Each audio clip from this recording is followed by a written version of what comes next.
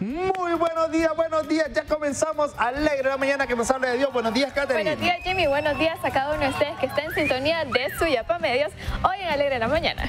Hoy 15 de agosto del año 2024, día jueves, así que damos comienzo a Alegre la Mañana.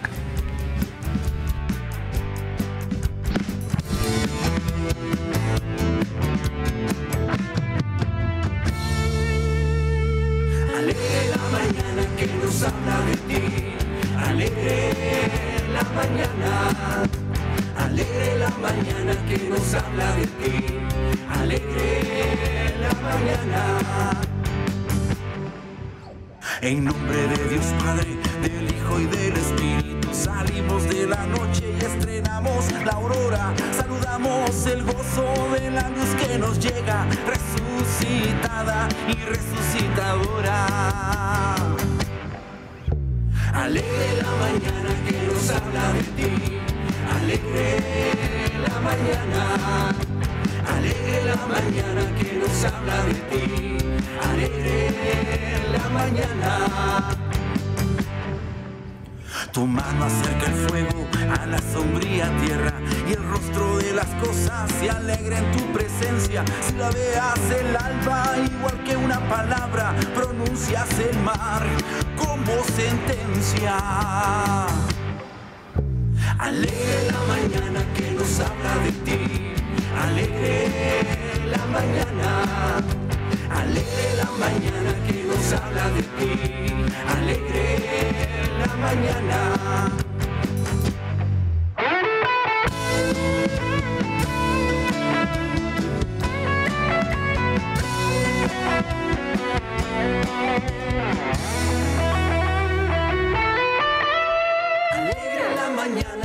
Habla de ti.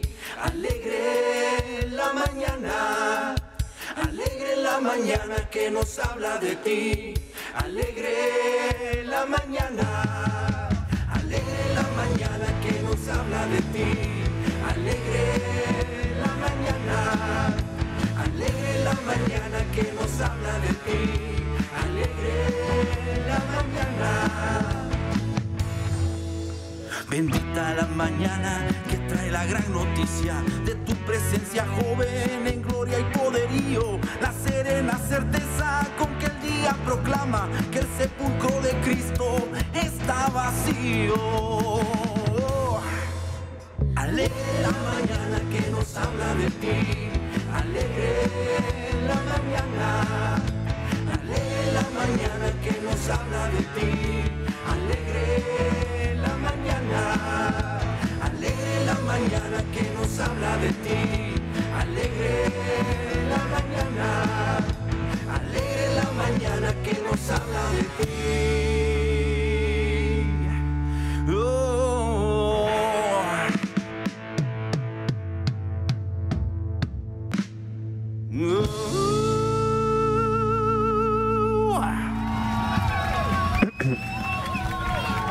Así, así comenzamos Alegre la Mañana que nos habla de Dios. Hoy día jueves 15 de agosto del año 2024. Buenos días, Catherine. Buenos días, Jimmy. Y así como dice usted, hoy, hoy jueves 15 de agosto, también jueves eucarístico y también celebramos, ¿qué más, Jimmy? La asunción de la Virgen María, ese dogma de fe donde nosotros también creemos muy fielmente que la Virgen María fue llevada en cuerpo y alma a los cielos. Esto gracias a su Inmaculada Concepción, gracias al proyecto de Dios que ha nacido su Hijo Jesucristo a través de ese vientre. Así es, Jimmy. Ella fue asunta al cielo. Mire qué bonita imagen. Esas son algunas de las imágenes que incluso hemos compartido en la página de Suyapa Medios y ahí usted puede encontrar mucha información en la página web, en las redes sociales de Suyapa Medios. Estábamos compartiendo, ya más adelante vamos a estar compartiendo, mire, esas son las otras, son Otras, sí, son pinturas, pinturas. son ilustraciones que han hecho en muchas partes del mundo diferentes artistas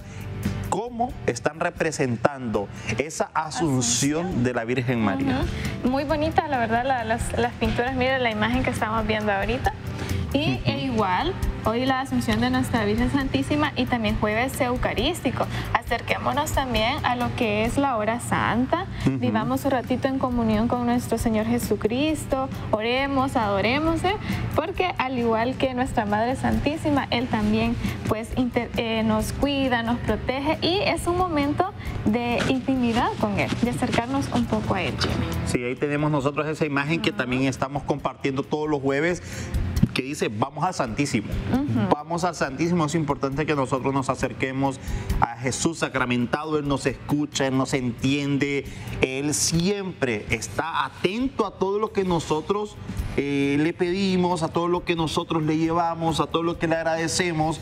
Así que no deje de ir al Santísimo más si hay hora santa en su parroquia. Vea, estas son algunas de las imágenes del el Santísimo de la Basílica. De la Basílica, Jimmy. Y también acerquémonos con alegría, con alegría porque sabemos que Él está presente en el Santísimo Sacramento del altar y que Él nos escucha, ya sea en el silencio, nos podemos sentar un ratito, Jimmy, a orar. Él en el silencio pues nos escucha y también platiquémosle y démosle gracias porque a veces solo pedimos y se nos olvida agradecerle a Él. Y Él ahí en un momento de intimidad con Él es un momento muy hermoso, la verdad. Se vive y se siente muy bonito. Platiquemos con él, qué pasó en nuestro día, hagamos un examen de conciencia frente a él, si a un caso se nos dificulta. Ahí algún acontecimiento que ha pasado en nuestra vida en, durante todo el día o durante un mes y no hemos hecho ese examen de conciencia, hagámoslo conscientemente, no de manera automática a veces que lo hacemos en la, en la Santa Eucaristía, que nosotros a veces como fieles lo repetimos, lo repetimos, pero no estamos conscientes de lo que estamos diciendo. Es algo de arrepentimiento. Entonces podemos también acercarnos y de paso acérquese al sacramento de la confesión, que es ahí donde existe el verdadero perdón de Dios. Así es, acerquémonos al sacramento de la reconciliación, porque es un momento en el cual nosotros nos despojamos de aquello que sentimos como un peso.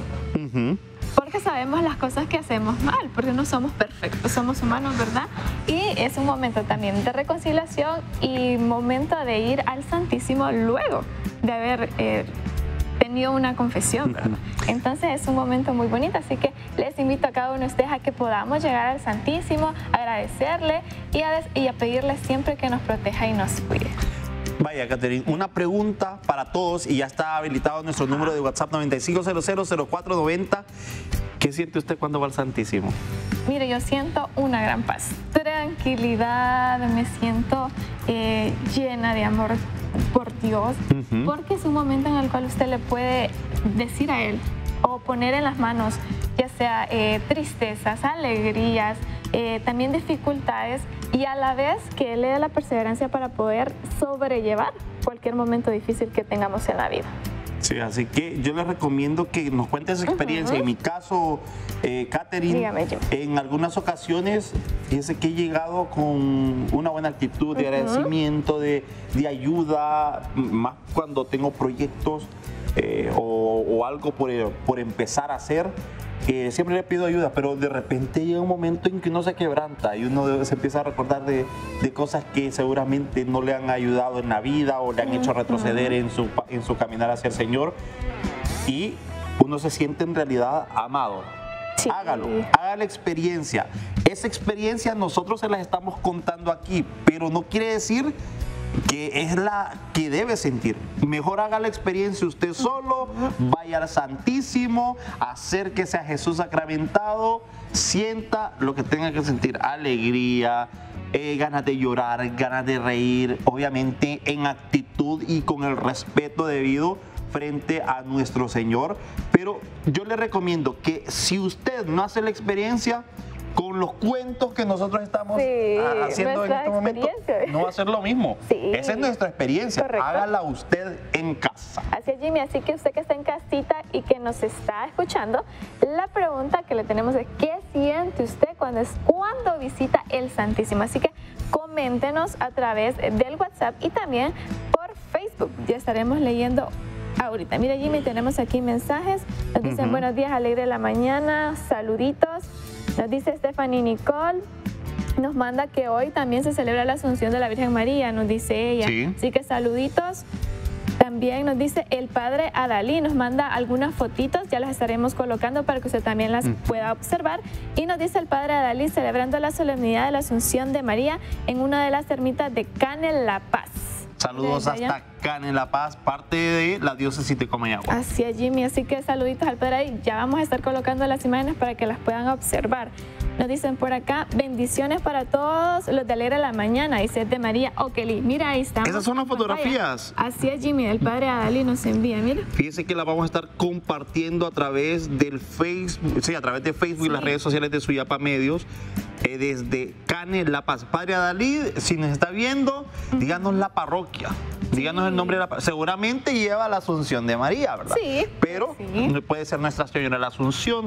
Ya vamos a averiguar bien el nombre de la parroquia.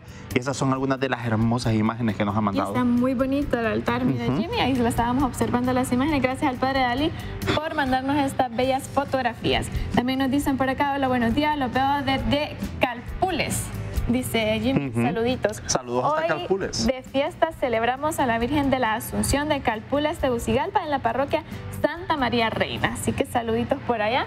Y si van a tener alguna actividad que también que nos las mencionen para poderlas comunicar a cada uno de ustedes y los que viven en los alrededores de este sector. Ah, sí, mira. Aquí la parroquia Espíritu, Santo. Saludos, Padre. Un gusto saludarle desde aquí. A ver qué día nos puede acompañar por acá, ¿verdad? Cuando ande por Tegucigalpa, tiene que avisarnos. Tiene que, avisarnos. Así. Venir y platicar con Jimmy en, el segmento de la plática. Así que... Cane es parte de, Cane es parte de esta parroquia. Es, ah, mire. Entonces vamos a estar compartiendo con todos ustedes esa fotografía. ¿De que se ríe, Ay, no, no, nada. ¿Está feliz? ¿Está estoy alegre? feliz, estoy contenta de estar aquí con ustedes esta mañana. La verdad es que la alegría de nosotros, Jimmy, aquí. Sí. Fíjese que yo ya acabo de publicar la pregunta que tenemos en pantalla. ¿Qué siente usted cuando se acerca al Santísimo? Ahí respóndala, respóndala y nosotros por mientras también vamos a estar agradeciendo a todos los patrocinadores de Alegre la Mañana.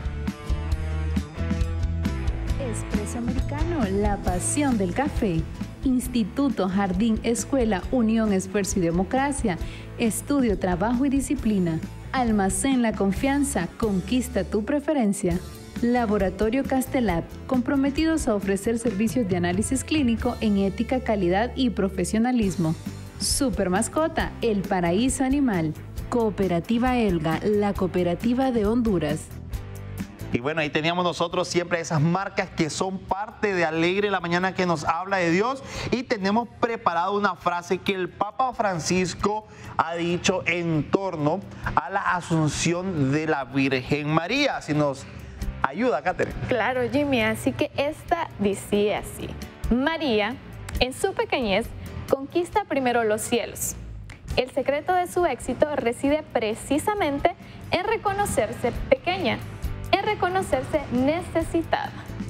Así que María se hace, se hace pequeña, humilde, eh, acoge al Señor, al Espíritu Santo, eh, deja que el proyecto del Señor sea efectivo en su vida y el Papa Francisco nos deja esta frase. Esta frase, Catherine, fue dicha por él en el año 2021, cerca también del día de la Asunción de la Virgen María. Entonces, por eso la pusimos en contexto. Ya el Papa hoy, ya más adelante vamos a estar brindando esos detalles, ya el Papa hoy ha tenido el Angelus, que comúnmente lo tiene los domingos, pero en esta ocasión, por ser día de la Asunción, lo ha tenido también este 15 de agosto, hoy jueves. Así que si usted lo ve, lo comparte, lo analiza, nos dice bastante cercano de que María siempre está intercediendo por nosotros y cómo nos acerca desde la tierra hasta el cielo como un puente. Hacia Jimmy como un puente. Y desde su pequeñez, su humildad, su entrega al Señor.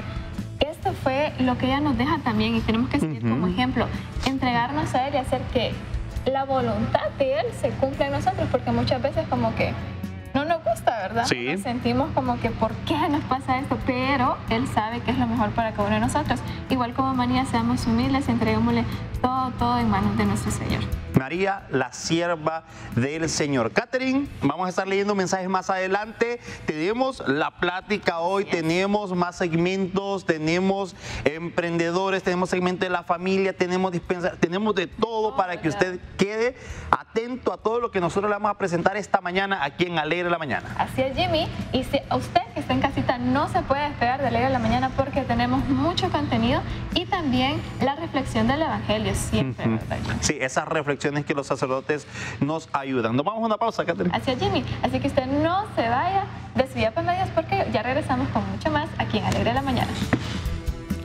Alergil, el potente antialérgico que te ayuda a disfrutar de los momentos sin alergias. Elimina esos momentos incómodos donde la gripe y los estornudos se adueñan. Alergil, el rápido alivio que tu cuerpo necesita. Presentaciones en cápsulas, jarabe, inyectable y crema. En Larache compañía, encuentra las mejores marcas y descuentos que te harán sonreír en este regreso a clases. Aprovecha promociones increíbles en el Back to Todos Felices que te trae la casa de Don Castor.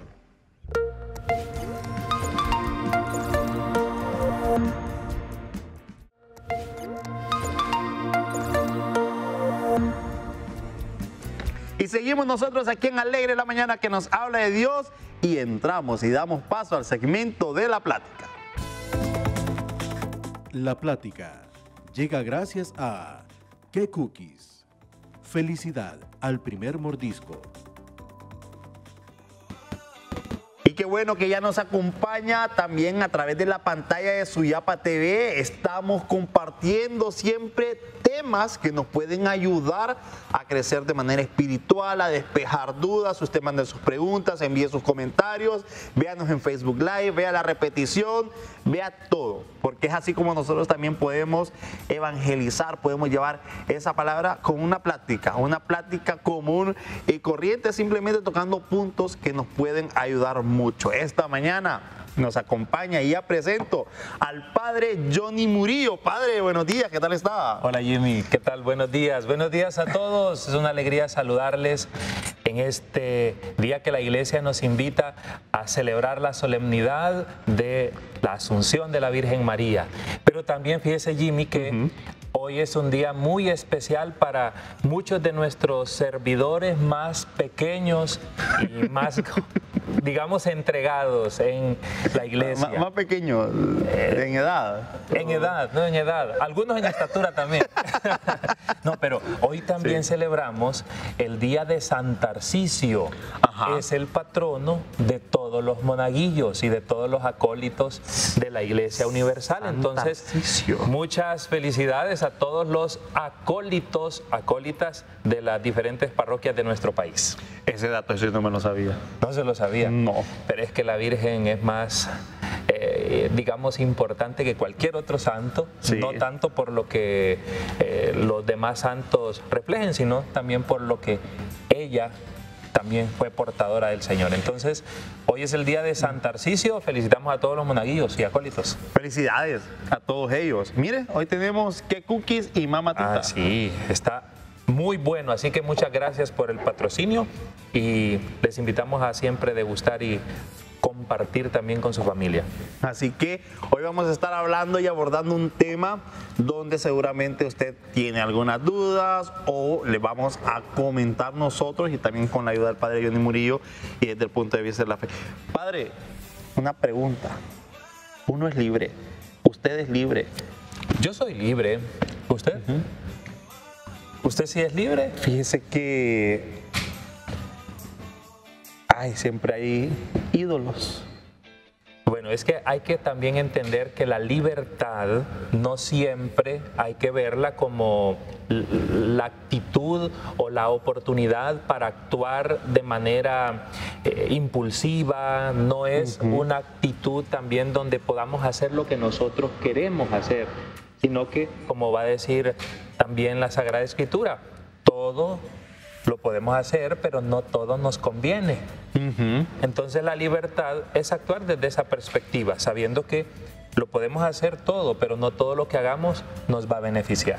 Uno anhela siempre eh, no estar atado a nada. Uno quiere andar libre, quiere andar sin ningún problema por la calle, sin algo que le agobie, sin algún pecado que cometer y uno quiere andar como quien dice, pianito o belleza, ¿verdad?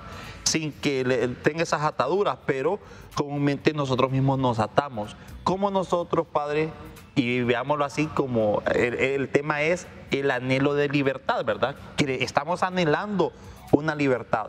Entonces, para empezar, Padre, ¿cómo podríamos definir nosotros qué es un anhelo? Un anhelo es un sueño, es aquello que lo, que lo queremos lograr. Piense usted, cuando alguien comienza a estudiar, su anhelo es llegar al final de esa carrera.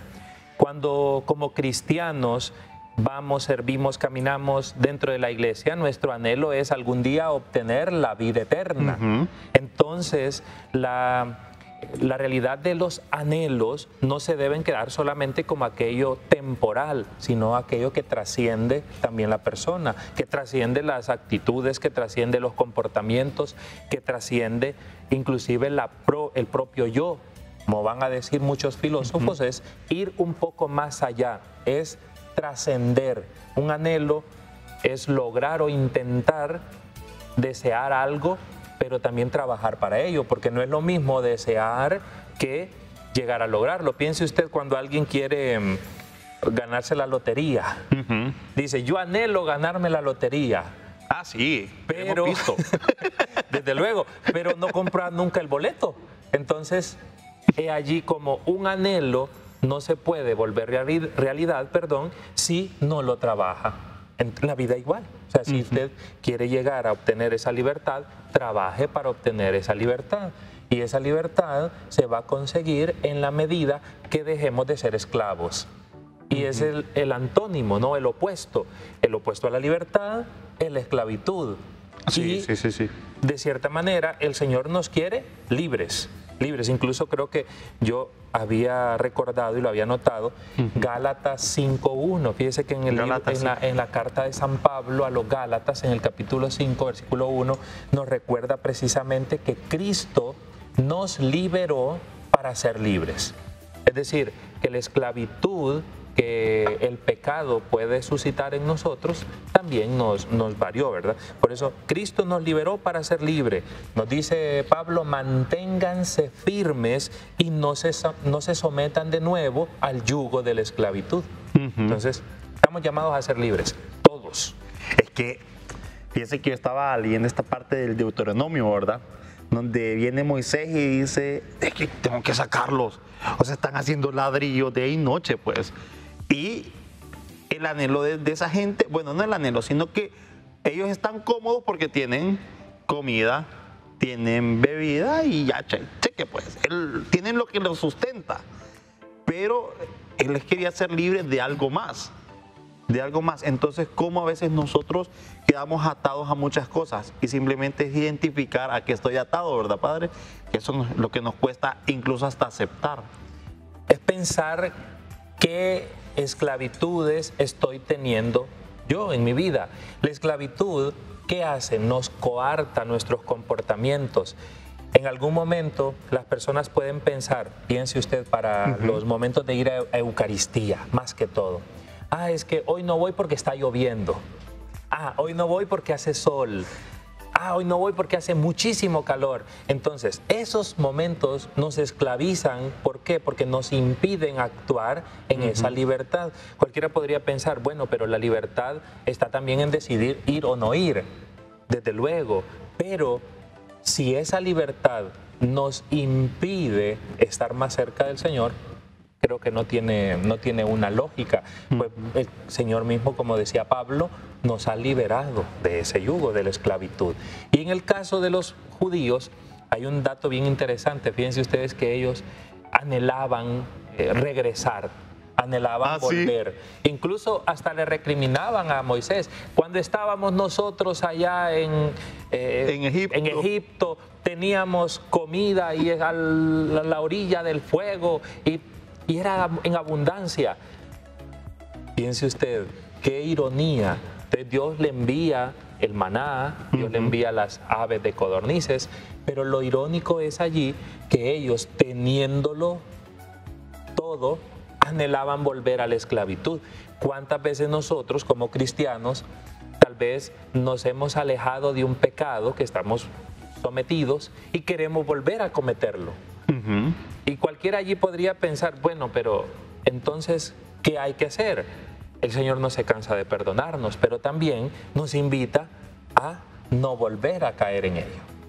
Por aquí ya vamos a leer, leer algunos de los mensajes, Padre. Por aquí nos dicen, Saludos a la parroquia María Auxiliadora, es lo más bello, nos dicen por aquí. Saludos al padre Adalid hasta acá en La Paz, que nos envió algunas fotografías que la vamos a estar compartiendo a través de las redes sociales de Suyapa Medios. Nos dicen saludos y bendiciones.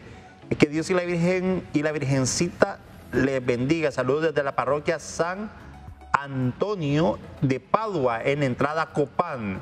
Soy Rosa, saludos a Rosa. Otro mensaje, buenos días, los estoy viendo eh, desde eh, San Juan. Salúdenme a Margarita Paz, fiel, fiel oyente del programa. Otro mensaje, feliz y bendecido día. Yo cuando entro al Santísimo mi alma se llena de mucha paz y también me desahogo y salgo como liberada de todas las cargas que uno tiene. Otro mensaje nos dicen saludos desde Valle de Ángeles Francisco Morazán. Más mensajes, Padre. Desde la Paz también nos están saludando y nos están enviando algunas fotografías. Otro mensaje, saludos a María Sarario Aguilar, saludos que nos está escribiendo como todos los días. Buenos días, mi nombre es María Margarita Díaz Salgado.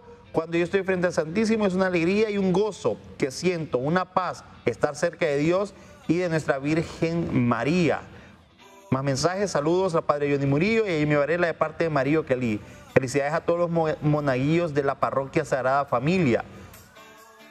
Saludos cordiales al Padre Johnny Murillo y también...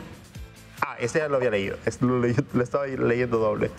Por aquí nos dicen, interesante tema, Jimmy, lo que pasa en estos tiempos es que las personas se han vuelto, escuche, se han vuelto tóxicas y le quitan la libertad a los demás. y mire lo que le dicen aquí. A Francisco Morazán. Dice que a Francisco Morazán por la barba. bueno. Padre, pero. ¿Le dio risa? Sí, claro. Yo no sé si me parezco a Morazán, pero.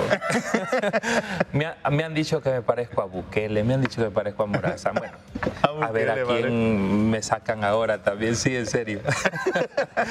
bueno, eh, en relación a lo que decía también, fíjese que Ciertamente hay muchas personas que nos quitan la libertad en el aspecto de sus comportamientos.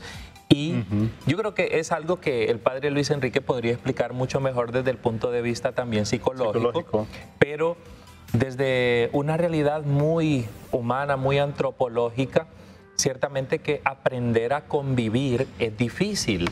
Y cuando nosotros nos relacionamos, también estamos expuestos a que nos puedan aceptar o nos puedan marginar de alguna manera. Y, el ejemplo más claro era lo que estábamos hablando recién antes de la lectura de los mensajitos del pueblo de Israel, que también se sintió marginado. Piense, y me, sitúo yo en Moisés. ¿Cuánta crítica no le hicieron a Moisés? Aparte que es una contradicción. En el pueblo de Israel, habiendo tantas personas sabias, tantas personas buenas, eligen a Moisés, que era tartamudo, para ir donde el faraón, para pedir, exigir su libertad. En tanto, cualquiera podría pensar en qué estaba pensando Dios, porque no envió mejor al que hablaba más bonito, al que tenía más habilidades, y envía a alguien que de verdad no tenía esa eh, facilidad para poder expresarse.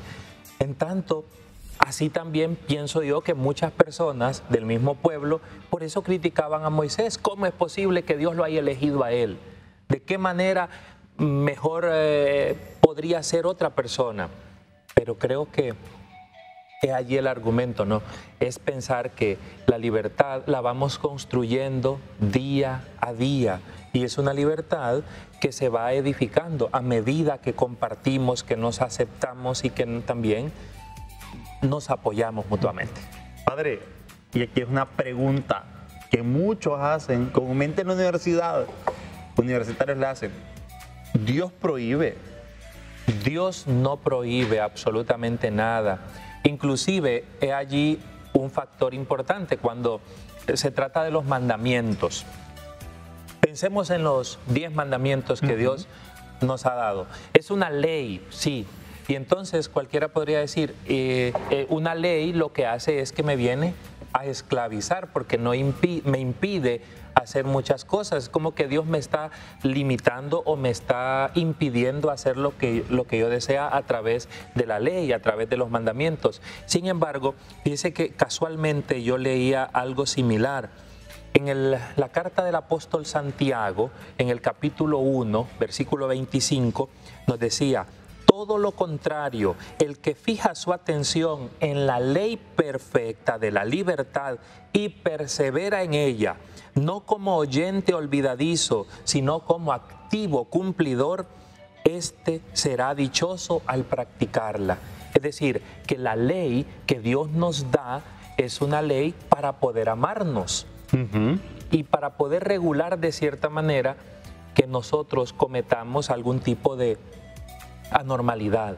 Volvamos al Génesis. En el Génesis, cuando está Adán y Eva en el paraíso, Dios colocó el árbol prohibido, que dicho sea de paso, mucha gente lo sitúa como un árbol de, de manzana. de manzana y en ningún momento aparece que era manzana a saber si sería una uva, una fresa, un melón, un aguacate, bueno, a saber qué sería. ¿Sabe qué? Un subte. ¿Sabe qué es un subte? No, fíjese que no. Ya, a ver, ya después más adelante, búsqueme un subte ahí en Google. bueno, pero fíjese que es curioso porque eh, nos hemos quedado con esa idea. Sin embargo, Dios no les prohibió a ellos estar en el lugar. Sencillamente les dijo, pueden comer de todo, menos de aquel árbol en esa libertad que Dios les dio, ellos decidieron desobedecer aquella invitación que Dios les había hecho y por eso se volvieron esclavos, esclavos de sus propios deseos, de sus propias pasiones, como podríamos decir hoy día. Eh, se dejaron llevar más bien por aquella fruta. Entonces, creo yo que es importante también resaltar esa parte, porque si nosotros nos quedamos solo pensando en que Dios nos prohíbe esto o aquello, no, inclusive nosotros lo vemos desde el punto de vista sacerdotal. La iglesia le prohíbe a los sacerdotes tener mujer. Fíjese usted, la gente que tal vez desconoce del magisterio lo ve desde esa parte. Incluso usted hace una pregunta, le van a decir eso. Eh, en la mayor parte de los comentarios las personas van a decir que la iglesia le prohíbe a los sacerdotes casarse, tener una esposa, tener familia. No, en ningún momento. La iglesia no lo prohíbe. La iglesia sencillamente nos hace la invitación. Si usted quiere seguir al Señor desde la vocación sacerdotal, entonces también debe vivir una vocación célibe. Basta. En tanto, no es una prohibición, es una manera o un estilo de vida dentro de la iglesia. Por eso no aparece en la Sagrada Escritura. Si yo quiero ser deportista, tengo que entrenar y comer bien todos los días. Claro. Si no, no se gana la medalla olímpica como ahorita, ¿verdad? Ajá, sí. Entonces, es un estilo de vida que, que optan ustedes. Más mensajes. Hola, buenos días, peticiones. Los veo desde la colonia 21 de febrero. Atentamente, Miriam. Otro mensaje por aquí. Buenos días, saludos a los parroquianos de la Iguala Lempira. Hoy nuestra fiesta patronal en honor a Nuestra Señora de la Asunción de María. Eh, lo escuchamos en San Isidro, Jacán, la Iguala. Saludos para el Padre y para usted, Jimmy. Otro mensaje. Buenos días, hermanos. Saludos, saludos querido Padre Johnny. saludamos también, Jimmy, a a los acólitos de mi parroquia. Me dijeron, por favor, salúdenos. Entonces, bueno, los saludamos, especialmente a los hermanos de la Villa Campesina. Ellos son fieles seguidores de este programa y me dijeron, ayer estuve en Eucaristía, saludos a Ismari, a Osmari y al resto de los servidores del altar. Mire, aquí hay una pregunta en torno a lo que celebramos hoy.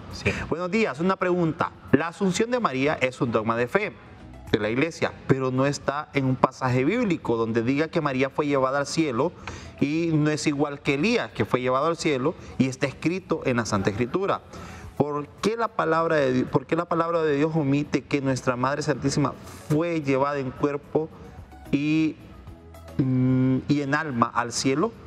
Bien, aquí hay que entender una cosa importantísima. ¿Qué dijo al inicio?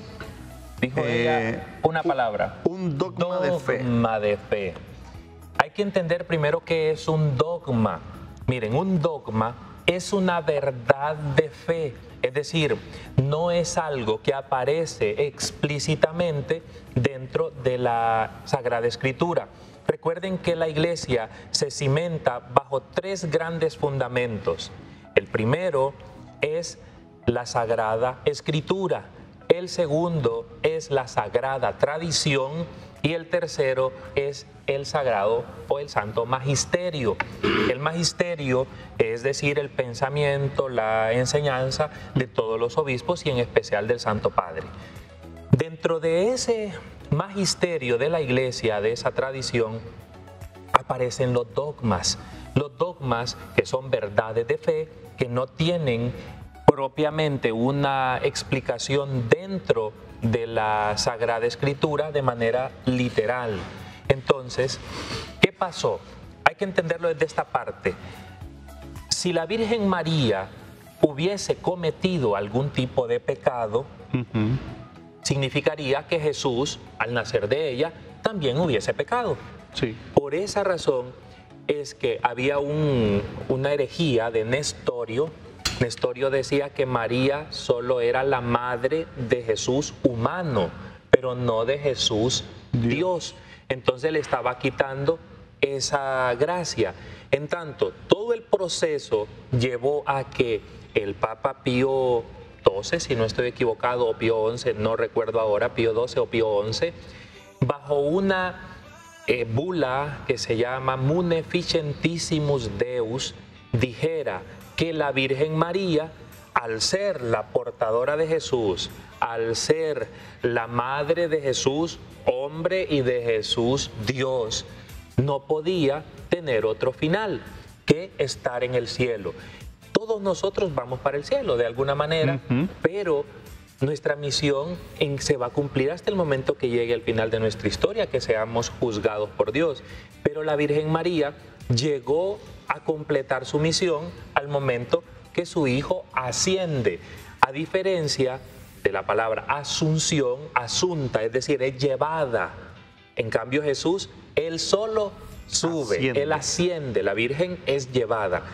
Entonces, no aparece en ninguna parte de la Sagrada Escritura porque recuerden que, como nos va a decir eh, la misma palabra, todo está escrito para que creamos en Jesús. No tanto para que creamos en todo lo demás, ¿verdad? Pero inclusive al final, en el capítulo 21, si no estoy equivocado, de San, Ma- de San Juan, nos va a decir muchas otras cosas hizo Jesús o dijo Jesús y no están contenidas en este libro.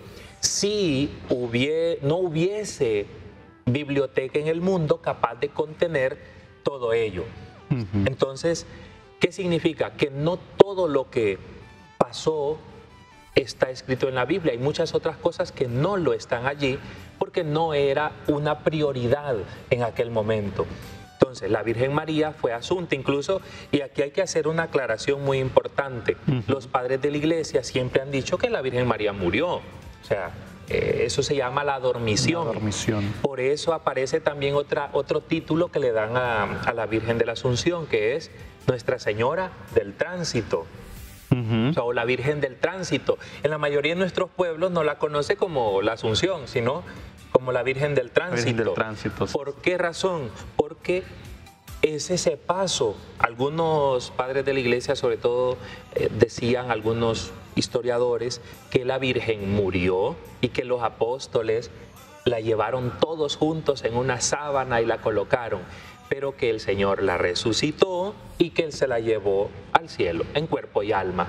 O sea, no quiere decir que la Virgen no experimentó la muerte, porque ciertamente, de acuerdo a la enseñanza de los padres de la iglesia, sí pasó eso. Entonces, eh, sería como un misterio y que yo creo que al final será una pregunta que tenemos que hacerle al Señor Jesús. ¿Cómo fue llevada al cielo la Virgen?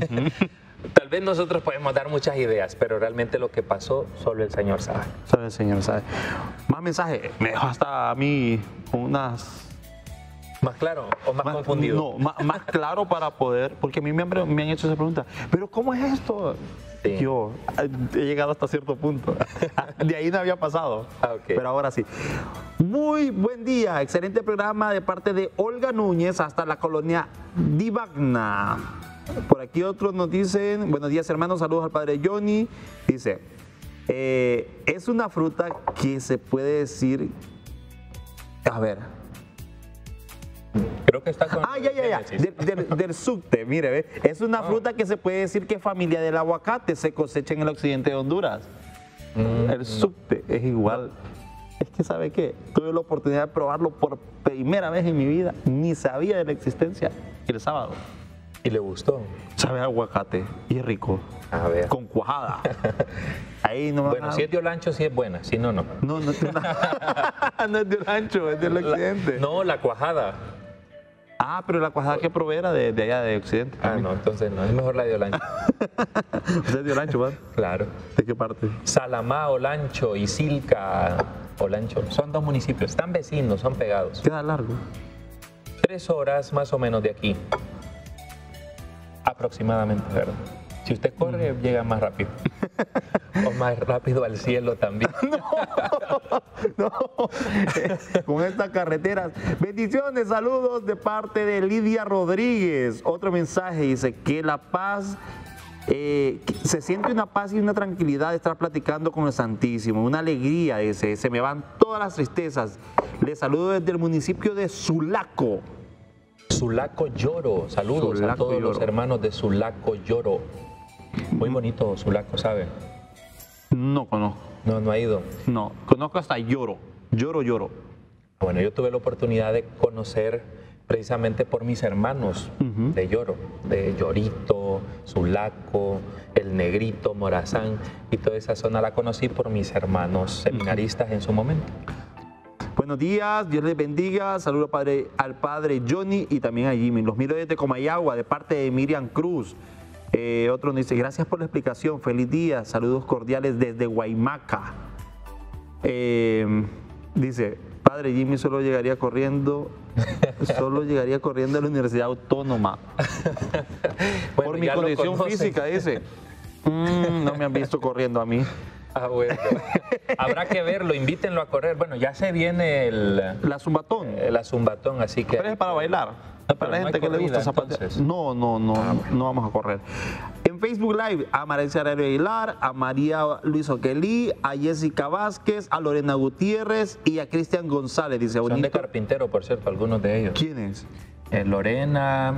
Lorena Gutiérrez. Jessica, Jessica, son de una de las Jessica comunidades de la parroquia. Bonito tema. Saludos. Así nosotros aprendemos mucho sus enseñanzas. Que Dios les concede enseñar siempre a nosotros. Saludos a Ana Funes, saludos al padre Johnny, por ahí nos dice. Entonces, sigamos con lo de la libertad. Con la libertad. Volvamos a la libertad entonces. Entonces, a la libertad como hay agua. Saludos a la libertad como hay agua. Fíjense que hasta ese extremo ha sido tan importante que muchos de los nombres de nuestras aldeas, de nuestros municipios, tienen, eh, digamos, ese reconocimiento, la libertad. ¿Por qué? Porque al final es un deseo que todos tenemos algún día poder sentirnos plenamente libres, porque quieras o no, de una u otra forma nos hemos esclavizado nosotros mismos o nos han esclavizado. Piense cuántos países hoy por hoy no tienen la libertad ni siquiera para comunicarse con sus seres queridos. Entonces, la libertad no solo hay que verla desde un punto de vista de lo que yo quiero, lo que puedo hacer, lo debo hacer.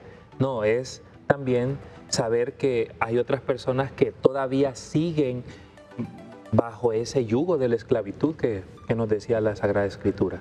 Y el yugo de la esclavitud más grande de nosotros, los seres humanos, es el pecado. Yo creo que si todos hacemos un examen de conciencia hoy por hoy y evaluamos, nos daremos cuenta que hay algo que todavía nos sigue esclavizando y que nos ata y que no nos deja realmente poder eh, eh, seguir nuestra vida de manera feliz, de manera plena y de manera realizada. Saludos al padre Johnny, que Dios le bendiga y nos siga dando mucha sabiduría y perseverancia para evangelizar a través de estos medios de comunicación de parte de Luz Lagos. Por aquí dice, vamos a leer otro. eh, bendiciones, estoy con dolor de cabeza desde Olanchito. A ver, quiero que ore por mí porque estoy con dolor de cabeza desde Olanchitos. Saludos y bendiciones. Bueno, le encomendaremos en la Santa Eucaristía. ¿Dejó el nombre ella? No, no, bueno, no, no entonces dejó le, le invitamos para que deje su nombre, para encomendarla también en la Santa Eucaristía, que sabemos que allí el Señor también actúa de manera misteriosa, pero también de manera eficaz. Dice, gracias por el bonito mensaje de la explicación de la asunción, porque a veces hay personas que lo confunden con la ascensión. Es muy importante. Ey, hay una nota en suyapamedio.hn que es la diferencia entre asunción y ascensión. O ascensión y asunción. Saludos desde Catacamas, Olancho. Saludos a los paisanos de, de Olancho. Y, y fíjese, Jimmy, que eso es importante porque muchas personas se confunden entre la ascensión y la asunción. Cualquiera piensa por, por la similitud de las palabras, pero es totalmente diferente. O sea, ascensión, como hemos dicho, el Señor sube y el único que asciende es Jesús. De allí, en, un- en el final de nuestra vida, eh, ¿qué va a pasar con nosotros? ¿Vamos a ascender o vamos a hacer asuntos? ¿Qué cree usted? Yo creo que vamos a hacer asuntos. Vamos a hacer asuntos, porque el único que tiene la capacidad para ello es el Señor. Y ahí todos vamos a experimentar lo que la Virgen María ya experimentó. Incluso mencionaba el texto alguien de Elías. Elías fue llevado al cielo en una carroza De de fuego. Y es curioso porque recién hace unos días en los textos de la liturgia lo teníamos, Elías fue un- una persona que incluso le dijo al Señor, basta ya, quítame la vida. O sea, llegó a un extremo tan grande de caer en una decepción, de sentirse solo. Bueno, después de haber peleado con aquellos profetas de Baal, su desgaste había llegado a tal extremo que él decide eh, mejor decirle a Dios, quítame la vida. Y Dios que hace en cambio, le envía un ángel, lo alimenta y le dice, levántate y ponte de pie y comienza a caminar. Al final de la vida, Elías es llevado al cielo. Es decir, que todos podemos ser también llevados al cielo desde esa realidad, siempre y cuando también dejemos hacer eh, al Señor su voluntad en nuestras propias vidas. Padre, ahora, hablando siempre de la libertad y hablando de la Virgen María. La Virgen María pudo haber dicho que yo no quiero, no quiero nada. Desde luego, El ángel se le apareció, el arcángel Gabriel. Gabriel. Que estaba, es que estaba pensando en Miguel. Ah, bueno. Entonces el arcángel, el arcángel Gabriel se le aparece. Y María, y si ella dijo, ella dijo sí, ¿verdad? Ya conocemos la historia. Pero si hubiera dicho que no. Es su libertad, ¿verdad? Sí, desde luego. Y hasta hay una canción, piense usted, que hubiese pasado si ella hubiese dicho que no. Entonces, la libertad que el Señor le dio a María de elegir, inclusive el Señor también lo hizo. Cuando llama a sus discípulos, Él eh, les dijo, quien quiera seguirme, que deje su cruz, perdón, que cargue con su cruz y me siga. Y él inclusive recuerde el texto de, había otro también que el Señor llamó, y déjame primero ir a enterrar a mi padre. Ajá. También en la libertad el Señor llama y, y Él nos da la libertad de decidir si le aceptamos o no aceptamos su llamada. Entonces el Señor nos quiere libres, pero allí viene lo que hemos dicho, ¿no? O sea, nos volvemos nosotros mismos esclavos. Esa parte donde dice, vende todo lo que tienes y dáselo a los pobres. Es de la esclavitud que tenía esa persona para poder seguir. Pensamos en lo material. Sí, desde luego. O sea, todos tenemos esclavitudes. Sí. Vuelvo- volvíamos al- a lo anterior, ¿no? O sea, puede ser el pecado, puede ser eh, la propia familia. Fíjese que yo les digo porque tengo la, digamos, la experiencia al conocer a algunos hermanos que tienen vocación sacerdotal y se les nota y yo estoy seguro que serían grandes sacerdotes. Pero ¿qué pasa? Ellos siguen todavía eh, al frente de, de su familia, de su mamá, de su papá, y les da miedo. Entonces, esa es la esclavitud que ellos tienen para poder responder con sinceridad la llamada que el Señor les ha hecho, pero no lo hacen. Saludos desde Concepción, Intibucá. Más mensajes por aquí. Buenos días, hermanos. Dios les bendiga. Le veo desde el barrio de las Delicias en Intibucá. Dice, me, me ayudan mucho a crecer en mi fe y amor a la Santísima Virgen. Les escribe María Reyes Pineda Sánchez. Saludos también a Elías Ortiz, la humildad que refleja el padre Johnny es admirable. Mira. Otro mensaje de Patricia Suazo, saludos y bendiciones. Y José Luis nos manda aquí un mensaje de like. Excelente el tema del día de hoy. Dice, la pregunta es, a ver, la pregunta es, yo soy bautizada por otra iglesia, pero me gusta más la iglesia católica. ¿Qué puedo hacer yo para asistir a la iglesia o pasarme a la iglesia católica? Fíjese Jimmy que allí, esto es súper fácil, ya le vamos a dar la respuesta, pero fíjese que hay muchas cosas de casuística, sea, casuística quiere Ajá. decir casos Ah, de personas. Eh, fíjese que sería bueno en algún momento también poder abrir esa parte, porque hay muchas personas que tienen ese tipo de inquietudes. Miren, ¿qué pasa? Cuando una persona ya fue bautizada en una iglesia evangélica o en una denominación diferente, pero que sea cristiana, solamente hay que partir de una realidad importante. Si su bautismo fue con agua, no importa si solo fue un poquito, si la colocaron dentro del río por inmersión, qué sé yo, pero la clave está en que las palabras que le hayan dicho sea yo te bautizo en el nombre del Padre y del Hijo y del Espíritu Santo. La iglesia acepta ese bautismo. Entonces, ¿qué haría en este caso la hermana que nos escribe? Tendría que completar su bautismo, es decir, primero la profesión de la fe, es decir, aprenderse y profesar libremente, en esa libertad que hemos dicho, el credo y luego completarlo con la, con la unción, con los óleos, el santo crisma que se coloca en el pecho y, perdón, el óleo de los catecúmenos que se coloca en el pecho y el santo crisma que se coloca sobre su cabeza. Entonces, esas tres, digamos, eh, partes completarían el bautismo que ya recibió. No quiere decir que nuevamente le van a, a colocar agua. Pero si en su iglesia en aquel momento le dijeron, yo te bautizo en el nombre de Cristo, eso no es bautismo, porque el Señor nos envía a bautizar en el nombre del Padre y del Hijo y del Espíritu Santo. Entonces, por esa razón, habría que también completarlo.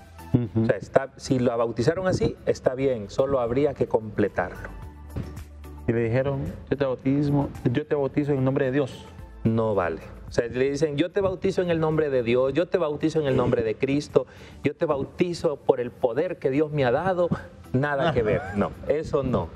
Tiene que ser hasta el, ah, eh, la frase total, yo te bautizo en el nombre del Padre y del Hijo y del Espíritu Santo.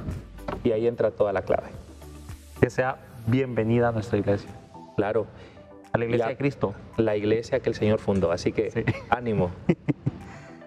Saludos desde Guatemala, nos mandan por aquí algunas fotografías. Dice, buen día, bendiciones para ustedes. Un saludo a mi querida madre, a Petrona González hasta Villa Los Laureles, que no se pierde las misas en su Yapa TV. Saludos a todos. Saludos a todos. Tienen bastante, creo yo, oportunidad para encontrarse con el Señor, incluso aquellas personas que tal vez no pueden tener Eucaristía constante. Porque usted sabe, Jimmy, que hay muchas comunidades que tristemente, por la necesidad de más sacerdotes, tienen Eucaristía una vez al mes, una vez cada dos meses, una vez al año inclusive. Entonces, Suyapa Medio se ha convertido en esa plataforma para poder llegar al menos espiritualmente. Yo quiero decir algo, y aquí el padre me corrige si estoy mal o aclara si estoy mal, pero yo digo que la libertad está, padre, en que si yo vivo con Dios y para Dios, lo demás para mí es atarme. Pero si alguien vive desde lo malo, desde el pecado, las cosas de Dios es atarse. Desde luego, Jimmy. Y es que fíjense que allí hay una realidad. No es lo mismo libertad que libertinaje. Ajá. Es una situación muy, muy diferente. Porque la libertad es actuar conforme lo que usted mencionaba, de vivir según la voluntad de Dios. En cambio, libertinaje es vivir conforme a mi propia voluntad, a mis propios deseos. Y creo yo que podemos, como seres humanos, caer en ese peligro, en esa tentación de confundir el libertinaje con la libertad. Y no es algo que nos edifique, porque si confundimos libertad y libertinaje, entonces vamos a fracasar como personas, como cristianos, pero también como familias.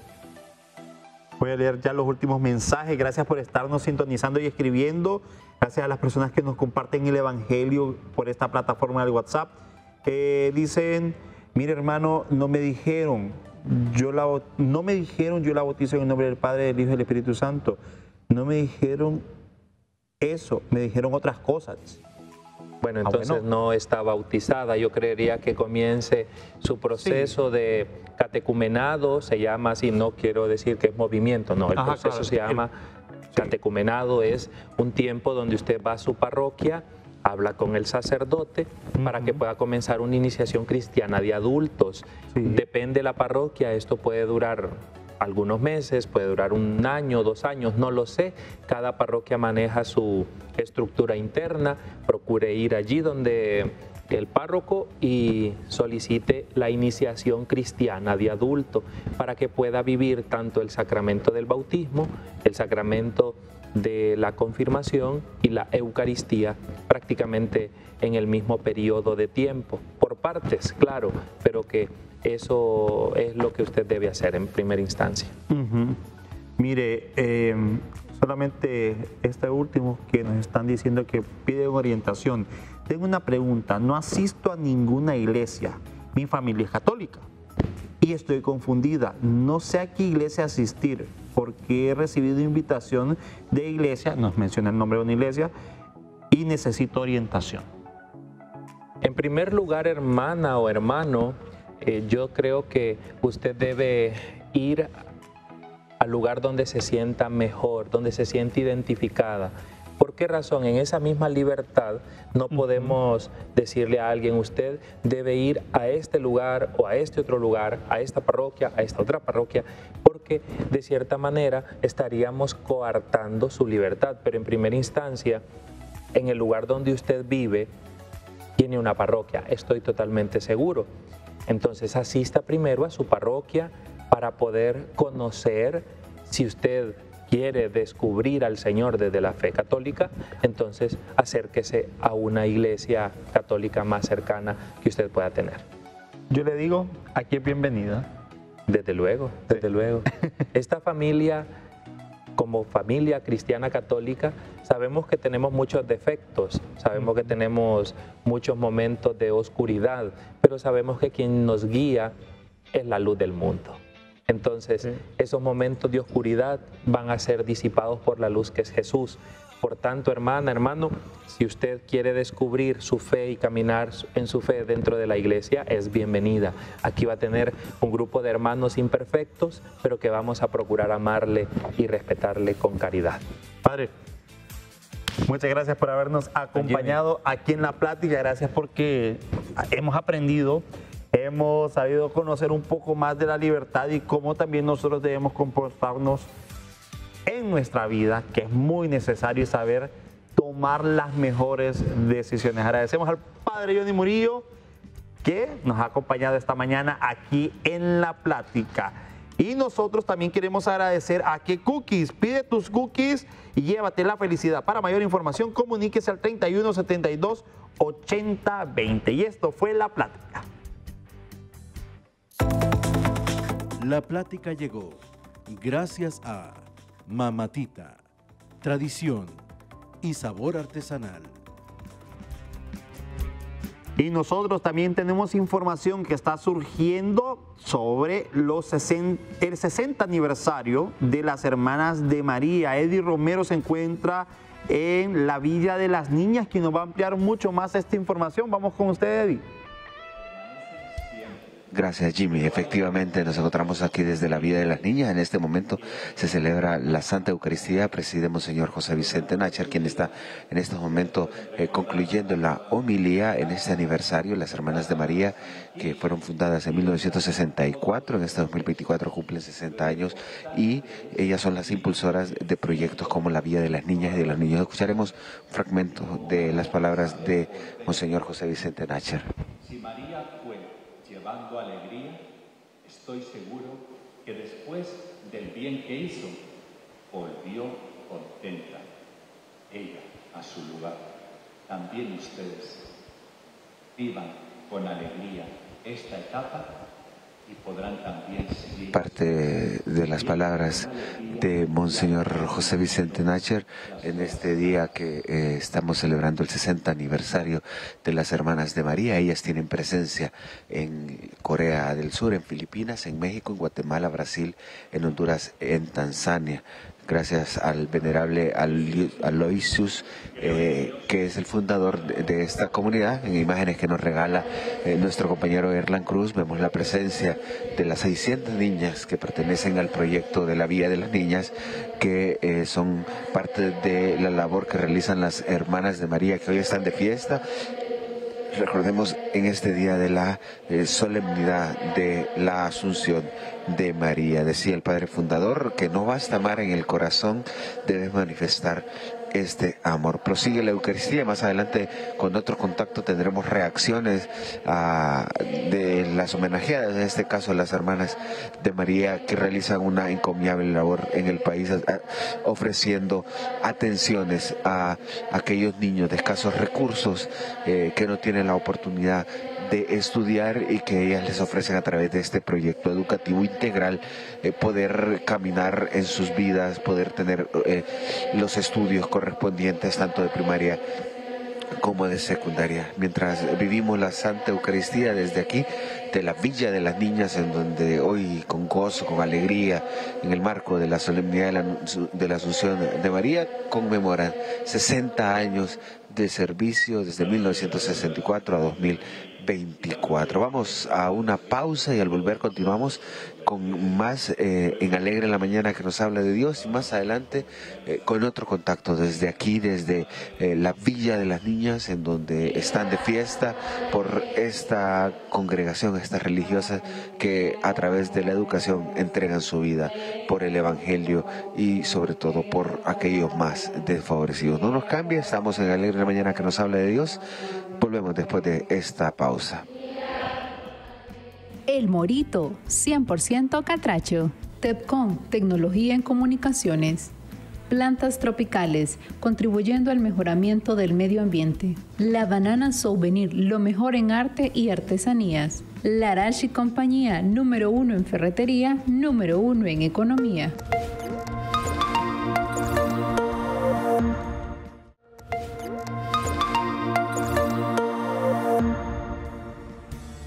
Por continuar con nosotros hoy jueves aquí en Alegre la Mañana y Jimmy nos tiene mucho más.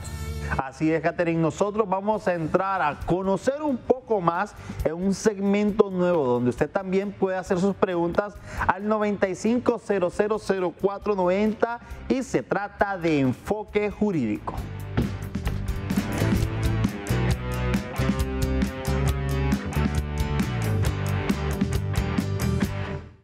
Como les había comentado, este es un segmento nuevo donde también usted puede hacer sus preguntas en torno a las leyes, en torno a, a todo lo que usted tenga esa mm, esa curiosidad de conocer o si a un caso también tiene que abordar alguno de estos temas. Es por eso que esta mañana nos acompaña la abogada Isis Elvir, quien nos va a despejar de todas las dudas. Y obviamente que vamos a ir temática a temática, vamos a ir compartiendo con ustedes temas puntuales de los cuales también queremos que nos escriba al 95000490. Yo quiero saludar a la abogada. ¿Qué tal está? Bienvenida. Muchísimas gracias. Hola, abogada. Muchísimas gracias. Abogada, hoy vamos a tratar un tema que va ligado mucho a la niñez hondureña, cómo también o cuáles son esas leyes que protegen a todos los niños y cómo nosotros podemos hacerlas efectivas. Si nos comenta cuáles son esas. Buenos días, mucho gusto. Alegre de estar nuevamente aquí con ustedes en Alegre la Mañana. Bueno, el día de hoy hemos traído este tema que es muy importante, que son los derechos del niño en Honduras. Es importante que los adultos y los niños también conozcan cuáles son sus derechos. Hemos dicho antes que hay una edad como de 0 a, pongamos, 10 años que se compone de la formación del niño y básicamente es un tema únicamente de derechos, porque ellos a nivel civil pues no tienen mayores obligaciones. Dentro de, partiendo de ahí, puedo decirles que existen derechos que son como inherentes ya del niño, indistintamente de la clase, eh, la edad que tengan, de, de, de cualquier situación del niño, son temas específicos de todos los niños. Entonces, por ejemplo, una de las cosas importantes es el, derecho al, a asegurar su vida, que crezca con toda la salud necesaria, tanto física como emocional, ¿verdad? Que podamos garantizar como sociedad y como Estado que el niño goce de los, de, los recursos para poder crecer bien. Esa es una situación. Otro de los derechos es el derecho a la educación, el derecho a la salud, el derecho a una, a una eh, o a un hogar que le permita tener paz, tranquilidad, amor. ¿verdad? Entonces, el Estado ha creado una serie de leyes para poder proteger esos derechos que son derechos reconocidos a nivel internacional, no solo a nivel nacional. Abogada, ¿cuál es la situación actual de los derechos de los niños en nuestro país? Lamentablemente, los derechos de los niños en nuestro país están en alta vulnerabilidad porque eh, podemos observar, eh, no hay que irnos muy lejos, podemos observar, por ejemplo, niños en la calle trabajando cuando un niño no debería trabajar, debería estar en la escuela. Hay altos índices de, violencia eh, dentro de los hogares, en materia de violencia doméstica. Hay un índice alarmante, por ejemplo, en materia de abuso sexual. en realidad, no hay forma de poder garantizar al ciento los derechos ninguna nación. Eso, Por eso es que hay que regular esos derechos, cómo, cómo se pueden hacer cumplir. Pero eh, sí, en nuestro país es difícil, es difícil. O sea, hay niños que están en situación de vulnerabilidad que conlleva muchas situaciones. A veces no es porque los padres lo quieran. A veces el tema de la pobreza, la falta de oportunidades, hace que los niños tengan que ir a trabajar. ¿verdad? Y en esos ámbitos ellos se exponen a muchas situaciones que no son propias para un niño. Abogada, eh, le tengo una consulta sobre lo que decía. ¿Es, ¿Está mal que los, o sea, que los niños trabajen, por decirlo así, y, pero sí puedan seguir estudiando? ¿Hay algo de malo en eso? Es que los niños no están preparados para, para trabajar. En los ambientes de trabajo, que no hay ambientes de trabajo para los niños, es, ese es el tema. Si observamos los trabajos que hacen los niños, eh, ¿qué son? Y, tal vez ir a cortar café en algunas zonas, el tema de la agricultura. Otro es que los niños andan en situación de mendicidad en las calles y eso lo han identificado como trabajo. Eso no es un trabajo, ¿verdad? Aunque ande con sus padres ahí. Entonces, ¿qué pasa cuando nosotros como adultos tenemos que cumplir una jornada de trabajo y también estudiamos? Y nos dicen, por ejemplo, que nos tenemos que quedar en el trabajo. Bueno, esa clase va a tener que esperar porque tenemos que cubrir el trabajo. Pues con el niño no va a ser distinto. El niño si lo ponemos a trabajar y resulta que no hay quien lo traslade a la escuela o, o sea, no tiene la forma de garantizarle la, educación si el niño está trabajando, que no debería trabajar. Un niño menor de 14 años legalmente no está autorizado a trabajar y mayor de 14 años, entre 14 y 18 años, lo puede hacer siempre y cuando tenga la autorización de sus padres y de la Secretaría del Trabajo. Y sabemos que son algunas de las condiciones de las cuales nosotros estamos viviendo en estos momentos, abogada, pero también hay algunos desafíos de los cuales el Estado, la empresa privada tiene que lograr eh, sustentar para que los niños también puedan tener una, em, una buena participación, podríamos decir así, o una buena convivencia dentro de nuestra sociedad. ¿Cuáles podrían ser esos desafíos de los cuales hay que cubrir? Porque muchos están vacíos? El principal desafío que se tendría que observar, el, que se tendría que manejar y, en el que se deberían de implementar todas las políticas necesarias es la educación, en primer lugar. En segundo lugar, yo pondría la salud, ¿verdad? Porque si nosotros educamos en términos generales a los padres, en primer lugar, a, a ser padres, entonces ellos van a desarrollar mejor esa función. Hay un dicho que dice, nadie nace aprendido y nadie na- sabe cómo ser padre hasta que es padre. Pero en realidad, en la actualidad, hay suficiente literatura para que un, un adulto que desea o que piense ser padre esté preparado. Entonces, dentro de los desafíos está, por ejemplo, crear políticas que sean eh, propias de la situación real. Porque a veces se crean políticas en materia de educación, en materia de salud de los niños y resulta que no son, no son adecuadas para la zona rural, por ejemplo, porque son políticas que se puedan desarrollar en la zona urbana. ¿verdad? Entonces, yo creo que las políticas tienen que estar hechas para la realidad. Ahora, los organismos internacionales nos dictan de muchas maneras estas políticas. Lo que pasa es que los recursos a veces son tan limitados que no se pueden cumplir. Entonces, uno de los desafíos es poder educar a la población. ¿Para qué? Para que aprenda, por ejemplo, en cosas tan sencillas, alimentarse. Esa es parte de la educación. Entonces, a veces nos toca observar eh, niños que se toman, en vez de un biberón, una Coca-Cola. Ah, Ah, sí. sí. Sí, Puedo decir eso. Sí, sí, sí. un biberón, eh, ¿verdad? Se toman un refresco y eh, desgraciadamente eso contribuye a una mala salud del niño por a veces falta de educación. La educación es fundamental para los derechos del niño. eh, tener el derecho a la salud, porque cuando nace que hay que cuidarlo, después está el derecho a la educación, el derecho como iba a tener una familia. Entonces, en realidad el desafío es poder ayudar a las familias, a las familias. Es que la familia es fundamental en la sociedad. Entonces, usted le ayuda a la familia a cómo educar a un niño, cómo nutrirlo, qué cuidados debe tener, le enseña a la madre, le facilita los recursos para que tenga un trabajo. Entonces eso garantiza que el niño pueda desarrollarse satisfactoriamente. Y también pasamos a, a esto de, de estos pilares que debe tener un niño y es la educación. ¿En realidad es accesible la educación para los niños en Honduras? Los niños, en teoría, eh, tienen acceso a la educación. Sin embargo, podemos ver que siempre está el tema de la deserción escolar, eh, sobre todo en las áreas rurales, que a veces los niños tienen que abandonar la escuela. Sí, han habido intentos bastante eh, de- pues, importantes de parte del Estado en crear algunos programas para evitar la deserción escolar, pero hay situaciones que habría que analizar que por ejemplo si está el maestro en- dentro de la escuela, hay, hay escuelas sin maestros, Ujú. hay maestros sin escuela. Entonces, eh, sí, hay muchos retos. Y se está abriendo una brecha demasiado grande entre los que pueden pagar la educación privada y los que no.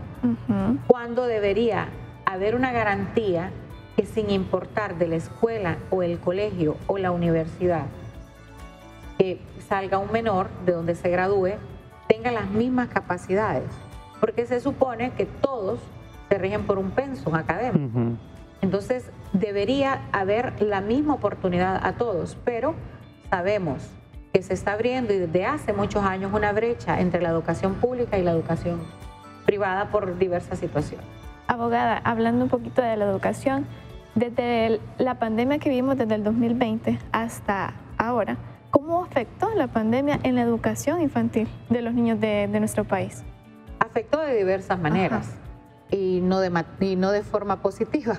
Afectó porque, en primer lugar, al tener que cerrar las escuelas por el tema del- de, la sobrevivencia, porque lo importante era poder conservar la vida en la pandemia, eh, bueno, muchos niños abandonaron la escuela, no todos tenían acceso a Internet, así que muchos niños quedaron sin estudios.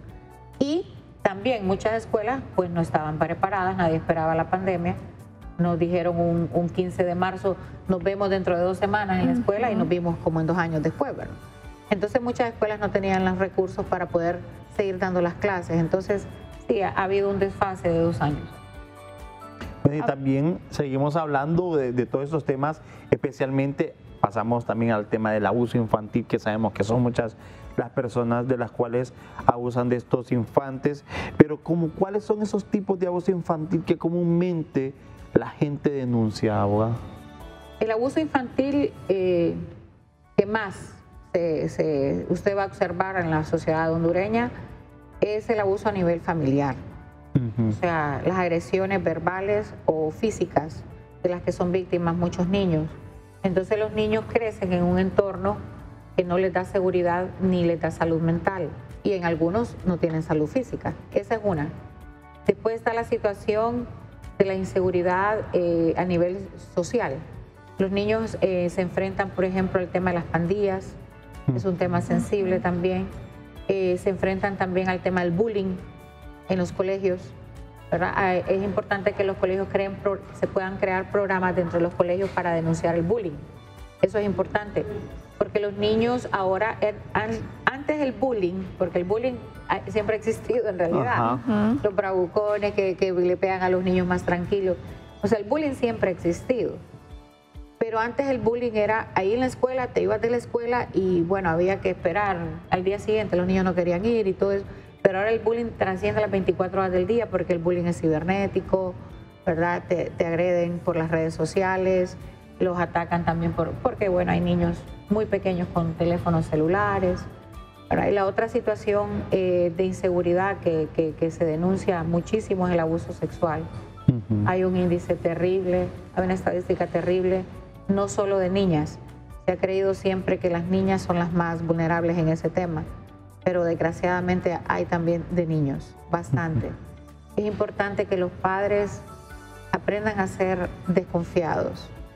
Desconfiados, o sea, es una palabra triste decirlo, pero es la única manera que el padre puede prevenir o, o puede ver una posible agresión.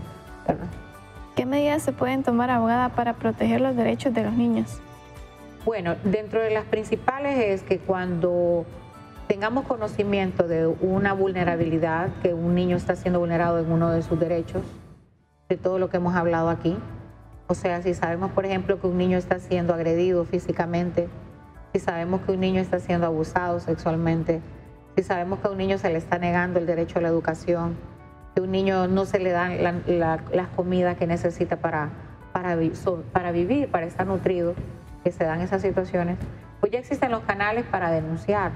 No tenemos la, la- la cultura de la denuncia, pero existen los canales. Por ejemplo, hay una línea telefónica, que es el 110, a la que usted puede hacer una denuncia anónima incluso de situaciones que usted observa de, contra los niños, ¿no? Eh, es importante que los maestros, que son los educadores, que están en muchas horas en contacto con los niños al día, les puedan hablar de cuáles son sus derechos y les puedan decir qué pueden hacer en el caso de que estos derechos están siendo vulnerados. El niño tiene que tener la opción de denunciar. Entonces, eh, en esta línea llaman los niños y dicen, porque llaman los niños. Ojo, los, Los niños, niños, llaman. Niños, sí. Todo niño que tenga la capacidad de decir su nombre eh, y dónde vive, cosas elementales, puede llamar. Solo tiene que marcar el 110 y llama a los niños y dice, es que mi mamá me pegó. ¿Verdad? Entonces tampoco estamos como en otros estados que, que la- el papá no va a poder castigar o llamar la atención o corregir a su hijo porque los padres tenemos que corregir nuestros hijos. Entonces ellos hacen las preguntas, tienen un- una gente capacitada a nivel de psicólogos, a nivel de abogados incluso. Entonces no significa que porque el niño le va a llamar, ellos van a salir. Ah, porque le, no, o sea, le dan un seguimiento. ¿Y qué pasó? ¿Qué hiciste? No, es que y ya dice el niño lo que hizo, ¿no? Entonces dice, bueno, tu mamá te ha castigado porque hiciste algo muy mal. Entonces, es, pero los niños pueden llamar, o sea, les tenemos que dar la libertad a los niños. Hay muchos niños que no saben qué hacer con lo que les está pasando. Así. Hay, hay personas, vecinos, familiares, que saben de situaciones y por miedo a las represalias no lo denuncian. ¿verdad? Porque si usted va, por ejemplo, a poner la denuncia de manera personal, pues ahí va a quedar el rastro que usted fue a poner la denuncia. Pero a través de, este, can- de, esa- de ese teléfono se pueden interponer las denuncias. Bastante interesante, bastante interesante porque sabemos de que hay muchos niños que son muy, eh, muy actualizados con esto de los teléfonos y todo eso. Hablemos ahora de salud, porque la salud es importante en los niños y vemos ahorita, por los momentos está atacando bastante el dengue, pero ¿qué condiciones se tienen o qué condiciones debería tener un niño para tener una excelente salud? Lo primero es la alimentación. Lo primero es la alimentación. Por ejemplo, las campañas que se hacen en torno a la lactancia materna son importantes porque los niños en la lactancia materna reciben ciertos nutrientes que les permiten desarrollar sus defensas, su sistema inmune. Entonces es importante garantizarle a la madre los medios para que ella pueda pues, lactar a su, a su hijo. El primer, en primer término, la, la alimentación. En segundo lugar, pues los sistemas de salud, que pueda haber una respuesta eh, temprana a las necesidades de los niños. Pero hay situaciones que hay niños que hay que caminar cuatro horas, hay que conseguir un carro para poder llegar al centro asistencial. Sí. Entonces, en el caso del dengue, por ejemplo, Jimmy, que está diciendo usted, desgraciadamente están falleciendo personas por esto, casi todas son porque llegan de manera tardía al médico, ¿no? Entonces, eh, bueno, se han generado las campañas. Las campañas son importantes para educar a la gente en el sentido de cuáles son los síntomas, eh, para que, de alarma, para que ellos puedan acudir.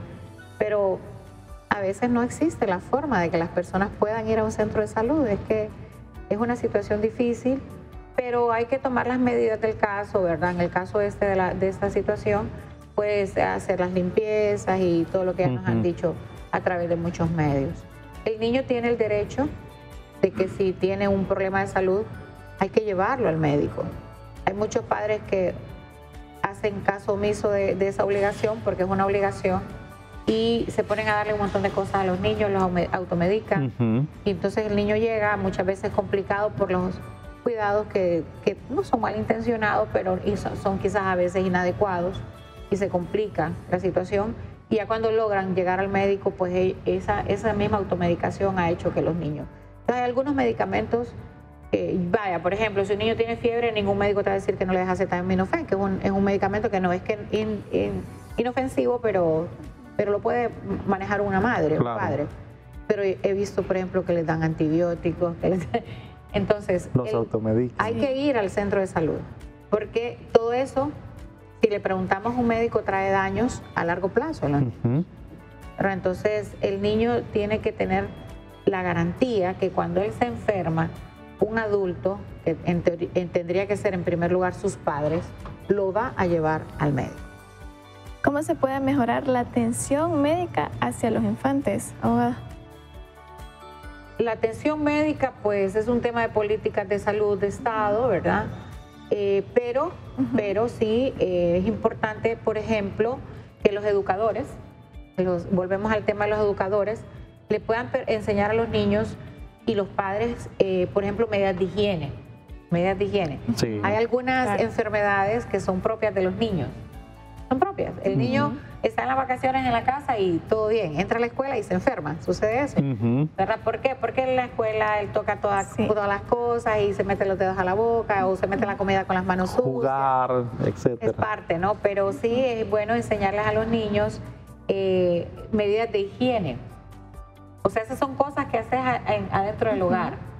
Ahora, si me dicen cómo mejorar el sistema de salud, yo siempre he creído que la mejor salud es la prevención.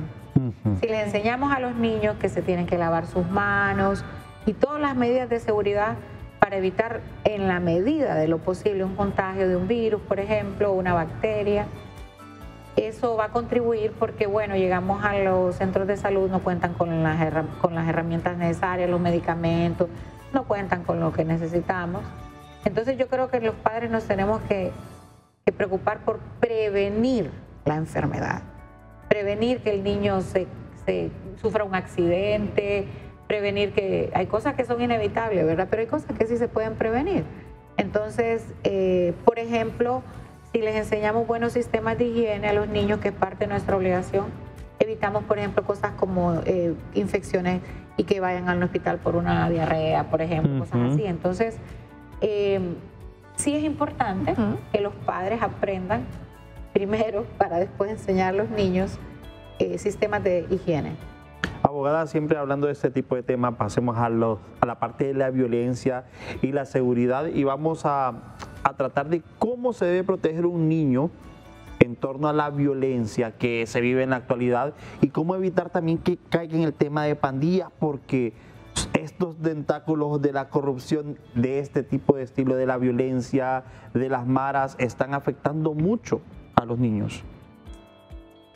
Es un tema extenso, el tema de la seguridad. En el caso de las pandillas, eh, por ejemplo, hay algunas zonas que las llaman calientes, roja, algo así, ¿no?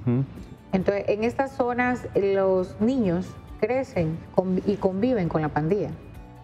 Conviven con la pandilla. Y les puedo decir que hay niños que ni siquiera han tenido opción de negarse a ser parte de la pandilla. Ahora, hay un gran número de niños que se integran en las maras por la desintegración de la familia. Por la desintegración de la familia. Ahora, ¿cómo le hacemos frente cuando tenemos conocimiento de una situación de que un niño está bajo un tema de violencia, ya sea de las pandillas, ya sea de cualquier tipo de violencia? Si nosotros somos adultos responsables y tenemos conocimiento de una situación de esa, lo ideal, lo correcto sería acudir a las autoridades para que ellos puedan hacer lo que corresponda. Por ejemplo, hay instituciones que al descubrir que un niño está en riesgo, en riesgo social, pues asumen la responsabilidad temporal de ese menor mientras otro familiar, por ejemplo, se quiera hacer cargo. Entonces, quitan, eh, le quitan los niños a sus padres y ellos no son capaces de garantizarles la salud, el bienestar y todo lo que un padre garantizar a un niño. En el caso de los menores infractores, bueno, ya existen las leyes necesarias de la niñez y la adolescencia para poder ingresarlos si fuera necesario a algún centro de detención o de rehabilitación, porque son dos cosas distintas, para poderlos después reinsertar a la sociedad. Entonces, pero ¿qué pasa si nosotros como ciudadanos nos damos cuenta de situaciones y no hacemos nada? De alguna forma la omisión nos hace cómplices de todo esto. Sí.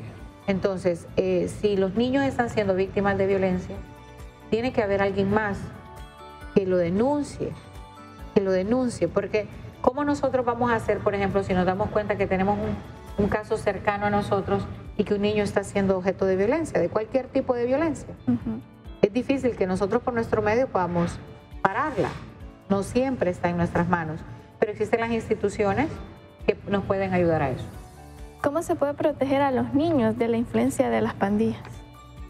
Bueno, en primer lugar, brindándoles un entorno seguro. Brindándoles un entorno seguro que es la obligación de los padres, brindarles un entorno seguro a los niños que les permita a ellos poder crecer con una salud física, con una salud mental, que su, a nivel cognitivo se encuentre bien. Estamos viendo que los índices de violencia están generando mucha ansiedad en los, en los adolescentes, depresión, o sea, condiciones que no son propias de un niño. Entonces, si ustedes lo, si ustedes lo ven, todo lo que hemos dicho al final empieza siempre en la familia. En la familia. O sea, la familia es la única que le puede garantizar al niño la seguridad. Ahora, si el niño está siendo influenciado por las maras, muchas familias optan por dejar al niño fuera de ese sistema, del lugar donde lo están influenciando, ¿verdad? Buscan ayuda, a través de hay ONGs encargadas de eso, de apartar los niños de esas zonas, de ponerlos en lugares seguros, porque a veces el padre de familia no sabe qué hacer. No le podemos decir a alguien, váyase de ahí, busque otro lugar donde vivir, y si es el único lugar que tiene para vivir. Pero sí, hay instituciones, ¿verdad? instituciones actualmente, hay ONG que ayudan a, a sacar a estos niños de estas zonas y ponerlos en lugares seguros. Abogada, ¿qué conclusiones nosotros podríamos decir ya para poder proteger la niñez hondureña y poder cuidar siempre del futuro del país?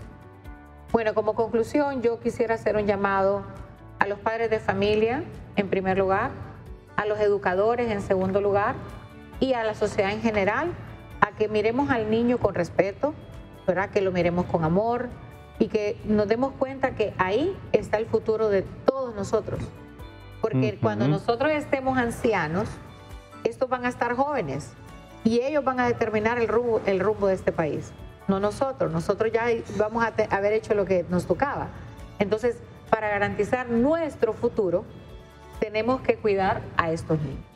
Sí, a cuidar a la niñez hondureña. Agradecemos su presencia por aquí, abogada Isis, quien nos ha despejado muchas dudas en torno al cuidado de los niños, especialmente de la vía legal. Si usted tiene algunas consultas, no se preocupe, usted puede enviar su mensaje y nosotros también vamos a estarle dando respuesta. Ahora, nuestro compañero Eddie Romero, también tenemos la vía de comunicación suya, abogada.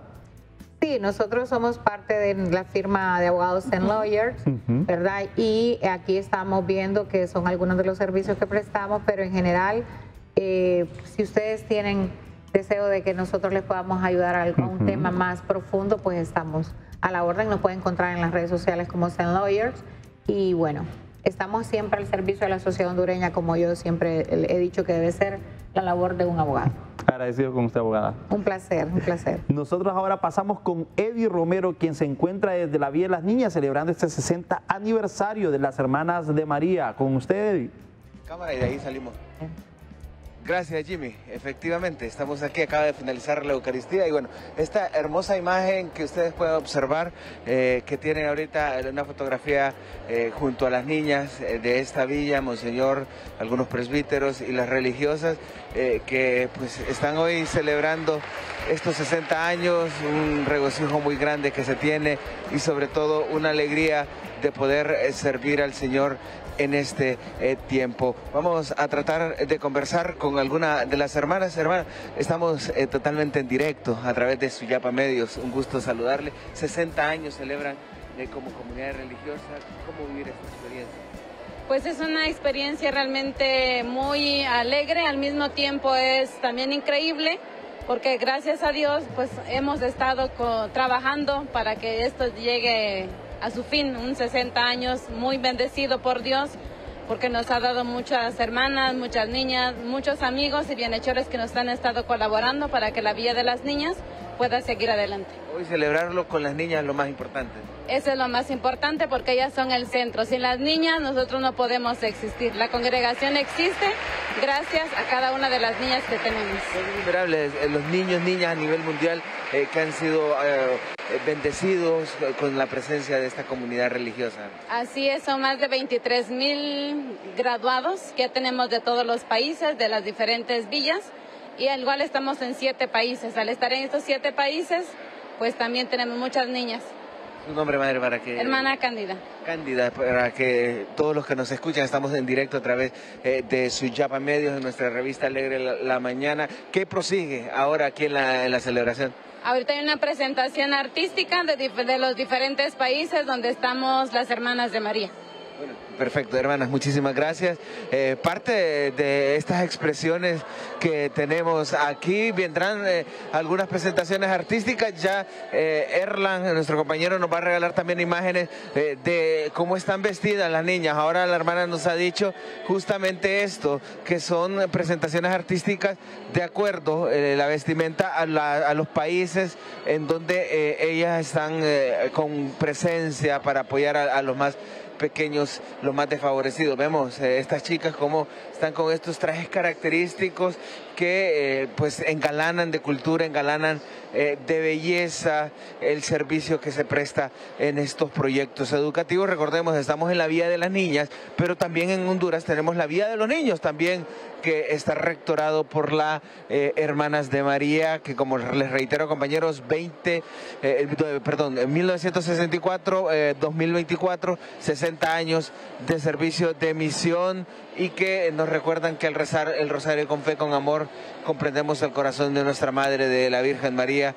Esto lo ha dicho el venerable Alois eh, que es el fundador de esta comunidad religiosa. Han venido hasta este lugar también algunos bienhechores, algunos eh, familiares, algunas personas que eh, colaboran. En punto de las 8 de la noche nosotros tendremos un informe muy detallado de esta celebración para que usted pueda vivirla igual a través de nuestras redes sociales. también ya tenemos. Bueno, vamos a platicar parte de las autoridades eh, de la Secretaría de Educación. Bueno, buenos días. Eh, hoy acompañando a las hermanas en este momento tan especial. Así es, es un placer para nosotros como dirección departamental acompañarles por esta noble labor que hacen. Una labor muy enorme la que realizan estas hermanas porque son, solo aquí nos dijeron 600 niñas. Así es, más de 600 niñas que vienen de las edades de 11 años, bueno, hasta que sacan su bachillerato. Agradecemos parte también eh, de la presencia de las autoridades de la Secretaría de Educación que acompañan eh, esta celebración, compañeros, que pues aquí seguirá, ya ha finalizado la Eucaristía, pero la fiesta va a seguir. Voy a regresar con ustedes si no tienen alguna consulta, porque aquí la fiesta continúa y nosotros pues eh, seguimos viviendo esto con mucha emoción. Así que a seguir celebrando Eddie Romero y felicidades también a estas hermanas que están de fiesta, 60 años y también a la vida de las niñas que están ahí celebrando junto con ellas. Ahora nosotros pasamos a los textos en contexto.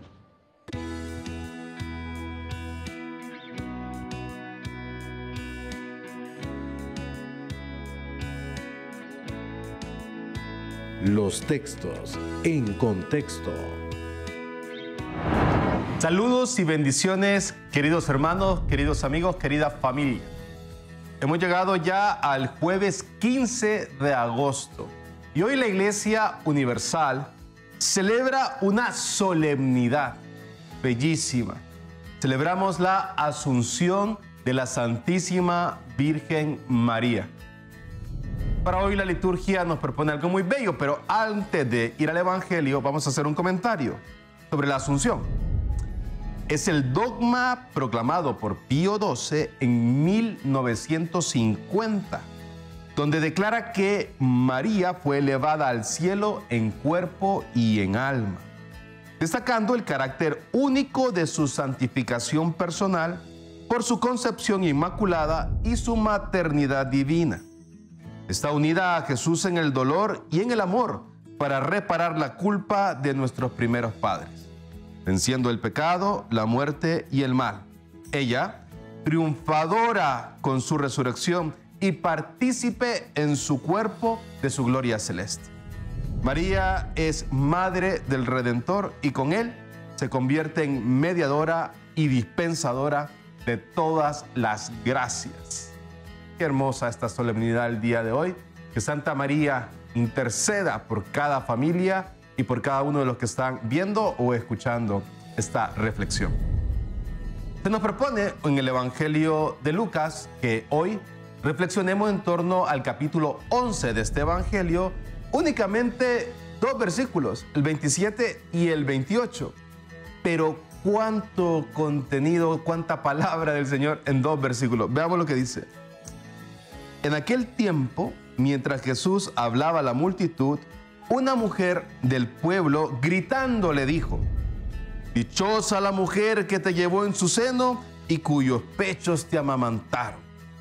Pero Jesús le respondió, Dichosos todavía más los que escuchan la palabra de Dios y la ponen en práctica. Qué texto tan bello. Yo creo que si tuviéramos que escribir algo, incluso en nuestras redes sociales el día de hoy, ya sea en la red social X, en Facebook, en tus estados temporales, Instagram, lo que sea que utilices, podemos citar a Jesús hoy. Vean lo que dice Jesús. Dichosos todavía más los que escuchan la palabra de Dios y la ponen en práctica. Los bienaventurados, las bienaventuranzas, es un concepto teológico de toda la Sagrada Escritura. Ya se encontraba en el Antiguo Testamento el concepto de bienaventuranzas, de bienaventurados, lo que se dirá en griego macarios, los dichosos, bienaventurados, felices, son cada una de las diversas traducciones o la posibilidad de traducir, de traducir el texto griego macarios a dichoso feliz. Esto ya estaba en el Antiguo Testamento. El concepto de macarios, el concepto bíblico de dichosos, son aquellos que son felices a pesar de las dificultades porque tienen su esperanza y su confianza puesta en el Señor. Por eso Jesús dice, dichosos todavía más aquellos que escuchan la palabra de Dios y la ponen en práctica. En el fondo se trata de descubrir que la felicidad, la plenitud, el gozo, el ser bienaventurado a pesar de las dificultades, es consecuencia de escuchar la palabra del Señor y ponerla en práctica. Y esto segundo es fundamental, porque estoy seguro, como tú ahora, que estás escuchando una reflexión en torno a la palabra. Y escuchamos la palabra y nos gusta escuchar la palabra. Cada día hay más gusto por la palabra, incluso utilizando plataformas como tú ahora que estás siguiendo conmigo esta reflexión. Sin embargo, no solo se trata de escuchar, debemos poner en práctica la palabra del Señor. Y una vez que la ponemos en práctica, entonces ahí somos felices, macarios, dichosos, bienaventurados. Ojalá que nosotros tengamos los oídos muy abiertos para escuchar la palabra del Señor, para que esa palabra baje a nuestro corazón, esa palabra se encarne en nuestra vida, como lo hizo en la Virgen María, que el verbo se encarnó en su seno y que el efecto o la consecuencia sea que poniéndola en práctica experimentemos ser dichosos, experimentemos ser felices. ¿Y tú quieres escuchar y poner en práctica la palabra del Señor? Que Dios te bendiga. Suyapa Medios presentó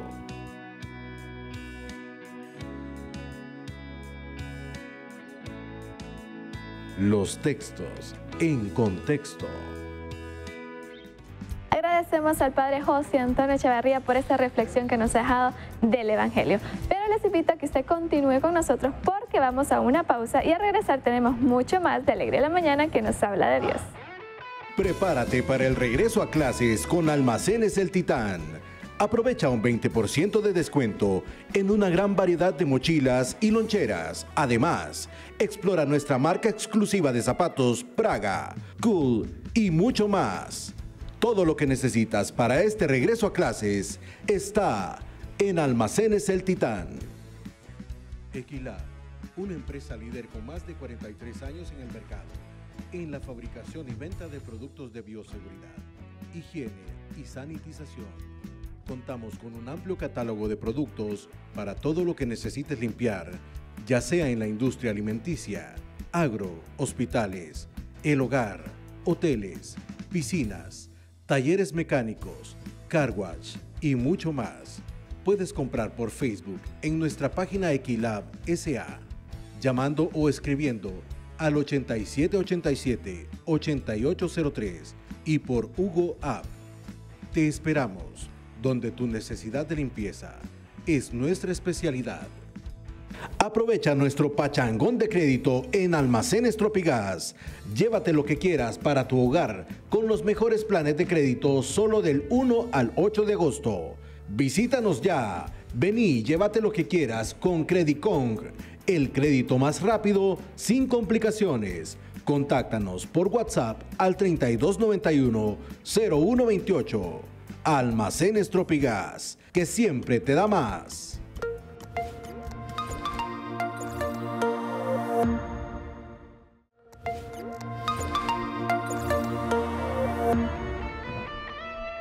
Útiles. De la renovación. Honduras, los útiles más útiles. Super Stock. Somos tradición líderes en productos de hogar y negocio. Farma Fácil, bienestar a tu alcance. Funerales La Auxiliadora, servicios fúnebres y cremación. Banco de Occidente, apoyando al pequeño de hoy, hacemos el grande del mañana. La meta, líderes en repuestos para autos europeos, lubricantes, equipos y herramientas. Gracias, gracias por estar en sintonía siempre de Suyapa TV. Hoy tenemos noticias, así que atención a la renovación carismática católica. Tiene que estar pendiente de lo que va a surgir dentro de poco para que ya vaya agendando el día, la hora y de paso vaya conociendo un poco más del himno que se ha hecho por parte del Ministerio de Música Católica, obviamente, eh, mejor dicho, eh, Mana. Maná, Maná. Fíjense que me estaba confundiendo con todo. Tenemos aquí a Marcia Paz Ahora, manito, un saludo cariñoso. acompañarnos y también a Josué. ¿Qué tal Gracias, está? gracias, gracias, Ya gracias. me estaba confundiendo todo. Sí, mire. es que mucha información. La paz con Tenía ustedes, todo. hermanos. Qué, qué alegría estar acá en Alegre la Mañana para contarles un poco de este encuentro nacional. Es el número 18, ¿no es así, Josué? Es el número 18. Y nos reencontramos después de una pausa de varios años, desde el 2019 no se realizaba este encuentro. Tegucigalpa vuelve a ser sede después de 10 años. Un encuentro de renovación carismática católica significa fusión del Espíritu Santo, gozo, alegría, eh, momentos de oración, de sanación, adoración y muchísima alabanza y por supuesto la presencia mariana. Así que eso es lo que hoy estamos compartiendo con nuestros hermanos a través de Alegre la Mañana, Josué. Claro, estamos muy, pero muy, muy felices, ¿verdad?, de que este encuentro nacional de la renovación carismática nuevamente esté aquí en Tegucigalpa. Desde hace 10 años en el 2014 no se hacía un encuentro eh, aquí en Tegucigalpa y toda la renovación carismática de Tegucigalpa está con los brazos abiertos, invitando no solo a las personas que son de la renovación carismática, claro. sino a todos los católicos bautizados que quieran tener esa experiencia de sanación, de liberación y sobre todo un encuentro con el Señor, ¿verdad? Por medio de la alabanza, de la música que tendremos en esa noche. Y no tengo duda que el Espíritu Santo va a ser el protagonista en medio de todos ustedes, llevando a la, la- la alegría, como usted ha dicho, la efusión del mismo, los dones del Espíritu Santo que cada uno tiene y se pueden ver potenciados. ¿Dónde va a ser? Bueno, pues es- hemos estado contando que eh, usaremos un espacio poco común. Por primera vez la iglesia va a utilizar este lugar a orillas del anillo periférico, pero Josué se sabe los datos perfectos. Está, el predio es el predio de la Cañada, en el anillo periférico, frente a la Suzuki. Todo el mundo ha pasado por ahí, donde muchas veces se ha puesto algún circo, se han puesto mecánicos. buenos mecánicos, pero el, el predio en sí es inmenso.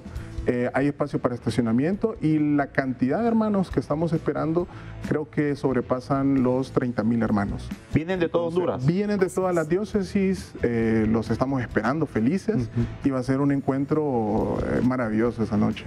Cuando hablamos de testigos hoy, ¿de qué estamos hablando? Estamos hablando del himno de este encuentro nacional de la renovación.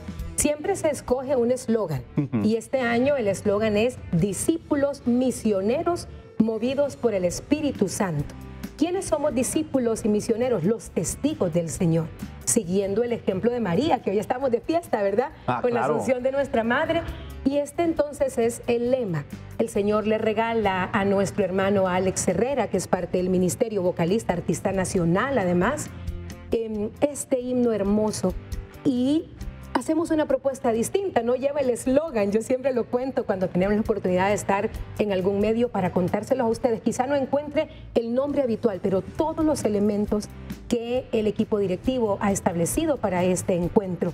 Somos movidos por el Espíritu Santo. Desde todos los rincones de Honduras nos levantamos, como nos invita la palabra, para acudir al encuentro, para cargar las baterías, para que el Espíritu Santo se derrame en nosotros para ser enviados. ¿Verdad? Somos portadores de esa buena noticia y para poder dar hay que recibir iglesia sinodal. Sí, Ahí la- estamos en esa sintonía. Todos en camino. Sí. Todos en camino y nosotros también vamos a escuchar cómo ha quedado este himno hermoso para que usted también esté en sintonía, se vaya preparando y como usted lo ha dicho, Marcia, no solo la renovación carismática católica en todo el territorio nacional, sino que todas las personas que viven su fe dentro de las parroquias. Claro que sí. Y tenemos un video por ahí que nuestro hermano Geraldo Rodríguez. ¿verdad? Preparó, que también él es colaborador del Ministerio Maná, de la Renovación, desde Comayagua, con el movimiento o el Ministerio Caminando con Jesús, pues ha hecho una propuesta por ahí, si Suyapa Medios quiere también ayudarnos, ¿verdad? Después un, un video renovado Ah, claro. con las imágenes del encuentro, no nos enojamos para nada. Pero sí, aquí está, con estos elementos visuales que siempre son importantes, ya está en la plataforma, ya está en YouTube de la página de la Renovación Carismática Católica de Honduras, ya lo encuentra en Face- en Facebook, en Instagram, en, en ¿qué otro espacio? Bueno, lo tenemos en todas las plataformas. Todavía Spotify todavía no, Ah, está no- pendiente. no Ah, está claro. pendiente de que se pueda subir, pero son uno de los planes, ¿verdad? Y el canto está muy precioso, Contagioso. eh, contagioso, ¿verdad? Y representa todo eso que, que queremos como renovación carismática, ser testigos y sobre todo hay una parte que habla de María que es la verdadera testigo, ¿verdad? Que fue una de las primeras que creyó y entonces eh, en eso está basado también el canto, de esa unción de ese Espíritu Santo. ¿Y qué le parece si vemos el video? Ah, no, Claro que sí. perfecto. Nosotros felices. Adelante. Adelante.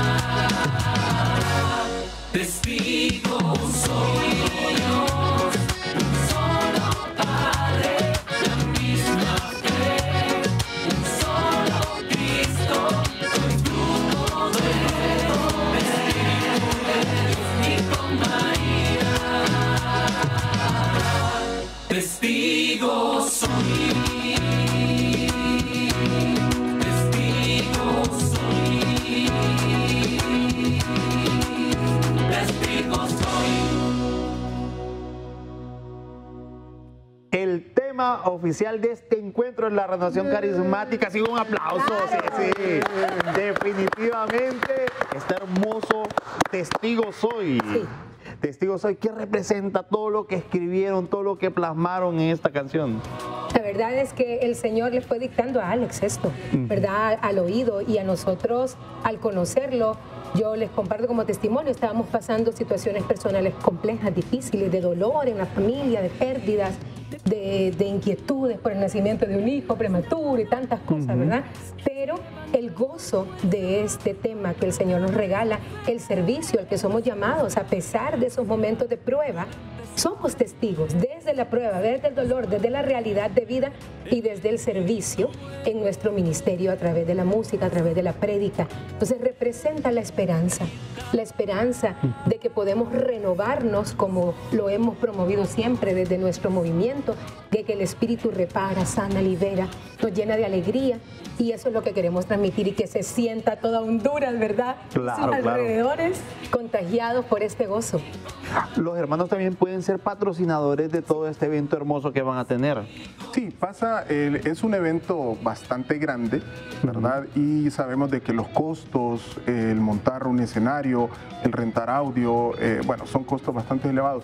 Y si a las personas que nos están viendo quieren participar donando algo, eh, vamos a dar un poco la- las cuentas Sí, de sí, bancos sí. para que podamos tener una noche totalmente bendecida, ¿verdad?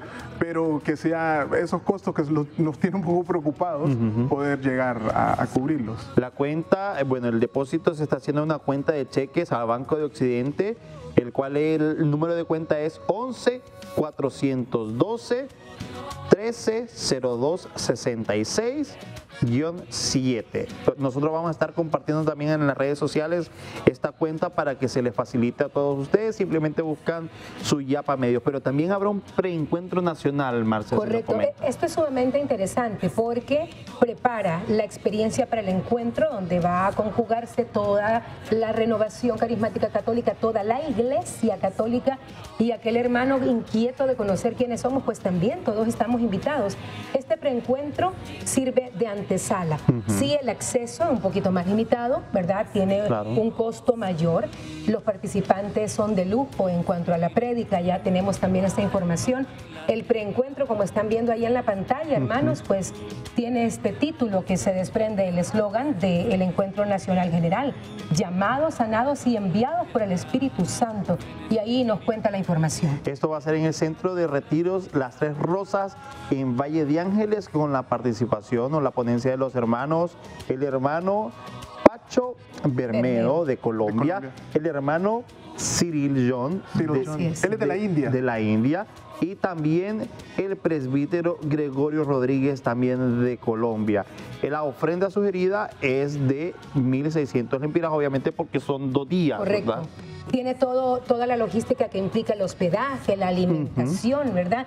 Es un espacio para fortalecernos previo al encuentro.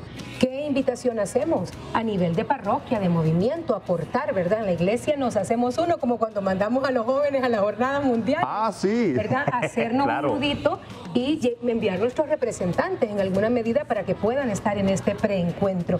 Y quienes de repente no tengan la oportunidad, no olvidar que tenemos el encuentro posterior donde nos encontraremos todos. También hay una ofrenda sugerida de Ujú. 100 lempiras, pero el aporte pues está ahí a su disposición. Si usted forma parte de la iglesia, si quiere hacer esta donación de recursos que siempre son necesarios, no se limite, hágalo. Es la oportunidad de proyectarse ante la bendición que se recibe. Hay muchas personas que siempre se preguntan cómo ayudar a la iglesia. Bueno, aquí está Ujú. una oportunidad. Ayude al encuentro de la renovación carismática católica con su aporte económico ahí en las cuentas de banco que ya se han compartido. Y no solamente va a ayudar, va a participar. Exacto, claro va a participar de Claro todo sí. esto. Así que muchas felicidades a toda la renovación carismática de Honduras por este tipo de eventos. Necesitamos movernos y estos son los espacios donde nosotros también vemos que la iglesia está viva, la iglesia late y en especial en este momento y este año va a latir en Tegucigalpa. Así que todos invitados. Gracias Marcia, gracias Josué por habernos acompañado. Gracias a ustedes. ¿verdad? por el espacio y nuevamente invitarlos y nos miramos en el encuentro nacional con nuestra bendita iglesia, todos juntos. Discípulos misioneros movidos por el Espíritu Santo. Los esperamos, hermanos. Gracias, Suyapa Medios. Bueno, y vamos a estar también compartiendo toda esta información a través de las redes sociales para que usted esté al tanto de todas estas actividades. Nos vamos a la pausa. Llantirama, lo más grande en llantas industriales y agrícolas. Budget Rent a Car.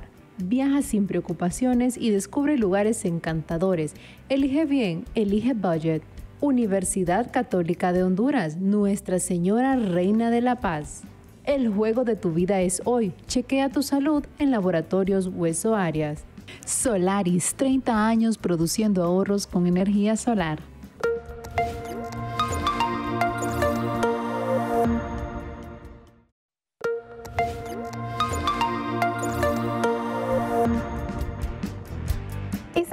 Mucho más aquí en Alegre la Mañana que nos habla de Dios y ahora les vamos a mostrar este segmento, el cual es al día con la tecnología, así que pongamos mucha atención. Al día con la tecnología es presentado por TechCom. Tecnología en Hoy en Al día con la tecnología exploramos el impacto de Neural GCM, el nuevo modelo de Google que está redefiniendo la predicción meteorológica. Utilizando una combinación de inteligencia artificial y métodos tradicionales, Neural GCM ofrece predicciones más precisas y consume una fracción de los recursos computacionales que los modelos actuales. Este avance no solo optimiza la predicción del clima, sino que también puede aplicarse en otros campos científicos, mejorando la eficiencia y precisión en múltiples disciplinas. Por otra parte, Apple ha lanzado una nueva actualización significativa para todos sus dispositivos, introduciendo una nueva función de realidad aumentada que promete cambiar la forma en que los usuarios interactúan en el mundo digital. Esta nueva función es denominada como Art Experience y permite a los usuarios superponer objetos e información digital en el entorno físico, ofreciendo experiencias inmersas y prácticas.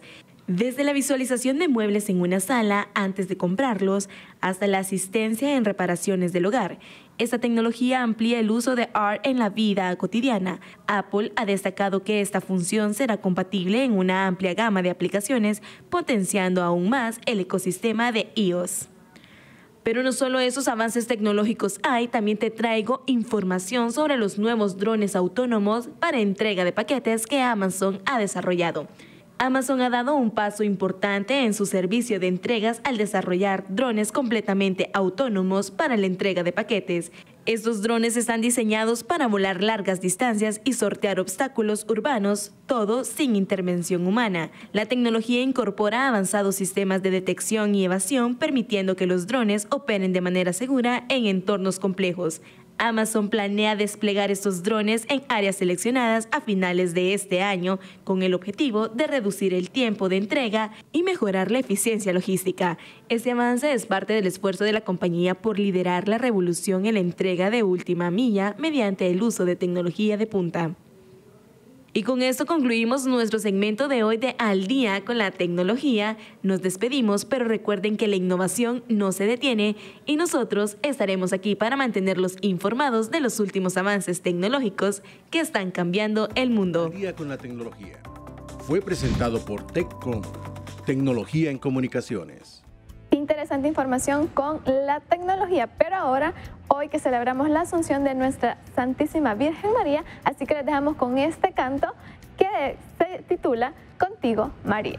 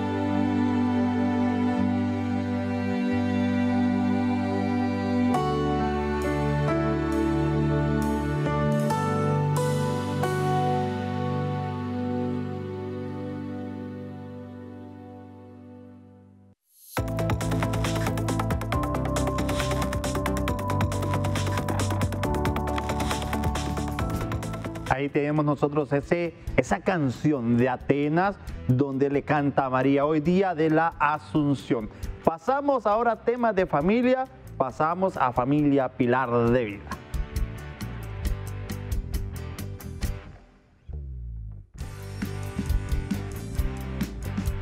Esta mañana ya nos acompaña don Óscar Osorio, quien es predicador y que también usted puede sintonizarlo aquí a través de Suyapa TV, también de la voz de Suyapa. Le saludo, ¿qué tal está don Óscar? Buenos días, Jimmy. Con vida y con fe, papá. Feliz. Contento y alegre. Ahí vamos. Yo también. Qué bueno, ya somos dos, entonces ya somos multitud. Sí. Donde dos hacen, ahí vamos regando. Ahí vamos, sí. De eso se trata. Don Oscar, hoy vamos a tratar un tema siempre en torno a la familia porque sabemos de que estamos en el mes de la familia, mes del matrimonio y hoy un tema que cuesta, un tema que cuesta hablar. Y no solamente en los matrimonios, me comentaba usted, sino que también en otro tipo de relaciones interpersonales. Y estamos hablando de la infidelidad. Sí. ¿En qué consiste o qué es la infidelidad? En un concepto práctico y sencillo es una traición. Ah, la, la infidelidad no solamente se centra en el tema del matrimonio, porque ahí tendemos a centrarlo, pero la infidelidad tiene que ver también ah, en transgredir la confianza en relación a otra persona. Puede ser, por ejemplo, un compañero de trabajo, el novio, la novia, eh, la propia familia. Entonces, la infidelidad es eh, en una dimensión más a nivel de la conducta moral de la persona. O sea, transgredir la confianza es irrespetar al otro, no valorar al otro. Si nos centramos, por ejemplo, en el tema de relaciones afectivas, ya sea matrimonio, noviazgo, hoy en día es, por decir así, lamentablemente normal.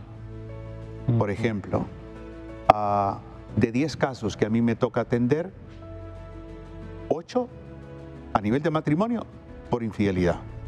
De las 8, según mis estadísticas, de las 8, 6 el hombre, 2 la mujer.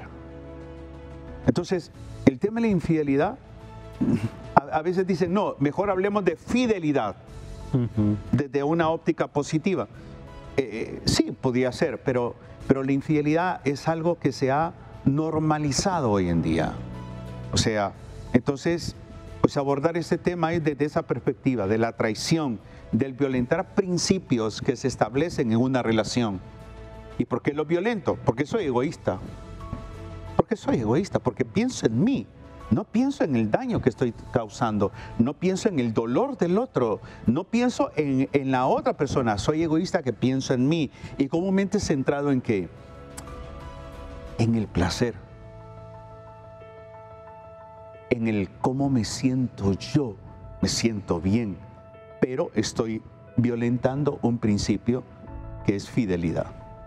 Eh, una persona siempre confía en su esposa, en su esposo, en su novia, en su novio, en sus papás, en su, siempre hay confianza en alguien. Y vamos a estas relaciones amorosas que usted decía, que comúnmente se ven en el matrimonio, en el noviazgo, y se está normalizando lastimosamente que no debería ser así. Pero, ¿cómo se puede ir erradicando poco a poco la infidelidad? Porque comúnmente es un impulso a una pasión. Ok. La, la infidelidad, hay, hay- hay que diferenciar entre un acto de infidelidad a una conducta infiel. Ok. O sea, un acto es un evento. Cometí la infidelidad y aprendí de ella. Y empiezo a trabajar y pongo límites, tomo conciencia, pongo límites. No se repite. Pero la conducta es de más de dos actos de infidelidad. Ya como se vuelve una conducta y es un proceder.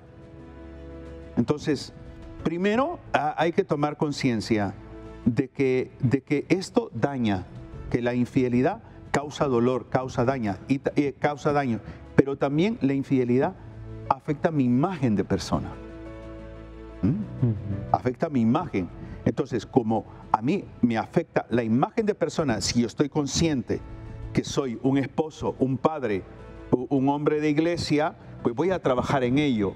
y voy a erradicar. ¿Cómo? Vida de oración, lo que tú dices, también eh, desarrollando una vida de virtudes. Entonces, todo eso no- nos ayuda mucho. Ahora, el tema, el tema más grave es cuando se convierte, cuando es una infidelidad eh, ya como un estilo de vida.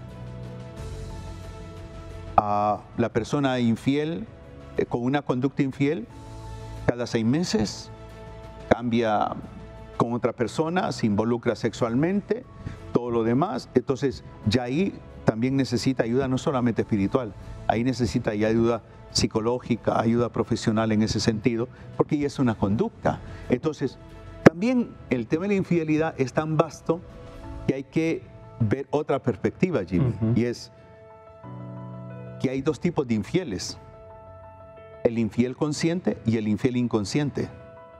Explico.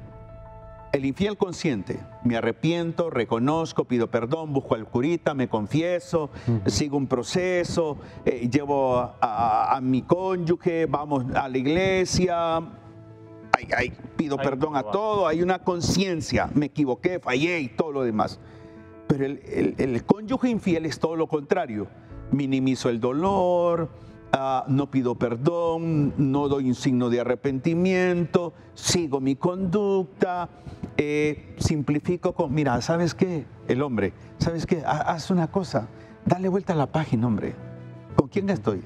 Aquí estoy, aquí. O sea, es tan inconsciente que no ve el dolor que ha propiciado, que no toma en cuenta el sufrimiento de su cónyuge y que minimiza todo. Lo minimiza. No te preocupes, por esta te juro que ya no más. Y a los seis meses vuelve a caer y luego al año y luego hablamos no de una infidelidad, hablamos de seis, hablamos de diez. Entonces desde ahí mm, la situación es más complicada. Cuando alguien esté, porque comúnmente hay una persona herida que se da cuenta de esta infidelidad, es bueno descartar todo lo que se ha construido solamente por decir, me fue infiel y aquí sí acabó todo, o qué debemos o qué se debe hacer en ese caso una persona, una pareja, cuando se ha cometido este tipo de infidelidad. Mira, e- es que es bien complejo, porque cada matrimonio, cada persona es una historia, es un mundo. O sea, por eso insisto, diferenciar. ¿Se puede perdonar más fácilmente un acto de infidelidad? Sí, pero ya una conducta infiel eh, es más complicado. ¿Por qué? Porque es repetitivo el acto. Entonces, ¿se puede reconstruir una relación? Sí, pero involucra voluntad de ambos, involucra decisión. Es entonces ahí, por ejemplo, el cónyuge infiel tiene que, que volverse lo que, lo que eh, yo le llamo agente de confianza. ¿Qué, tengo que, qué- qué quiero decir con esto con agente de confianza? Tiene que promover confianza, no que mi pareja, no que el cónyuge no infiel confíe en mí, no, yo voy a promover confianza, voy a ser un hombre transparente, voy, voy a poner límite a, esa situación que me promueve infidelidad, voy, voy a ser coherente, voy a mantener eh, comunicación continua con mi cónyuge, eh, voy a, mm, a establecer, insisto, límites, voy a promover también sanar la herida de mi cónyuge. ¿eh? Eh, voy a, implementar o a trabajar o a dar una mejor versión de mi persona. Eh, a ser más paciente, más tolerante con mi pareja porque mi pareja está herida a consecuencia de mi infidelidad. Entonces voy a, ser paciente, tolerante, voy a ser creativo en el sentido de cómo promover el sanar la herida, ayudarle. Entonces hay un compromiso personal en ese sentido. Y por otra parte también está lo que tú mencionabas, Jimmy, de, de la persona radical, la que dice, por ejemplo, dice, y, y eso va comúnmente las mujeres, eh, una infidelidad yo no la perdono. ¿Ah? No la perdono. Y entonces cuando yo comienzo a trabajar con este tipo de mujeres, están condicionadas. ¿Por qué? Porque ellas como hijas vieron cómo papá le fue infiel a mamá. Es que eso no se va a volver a repetir en mi vida, porque vi el dolor de mi madre.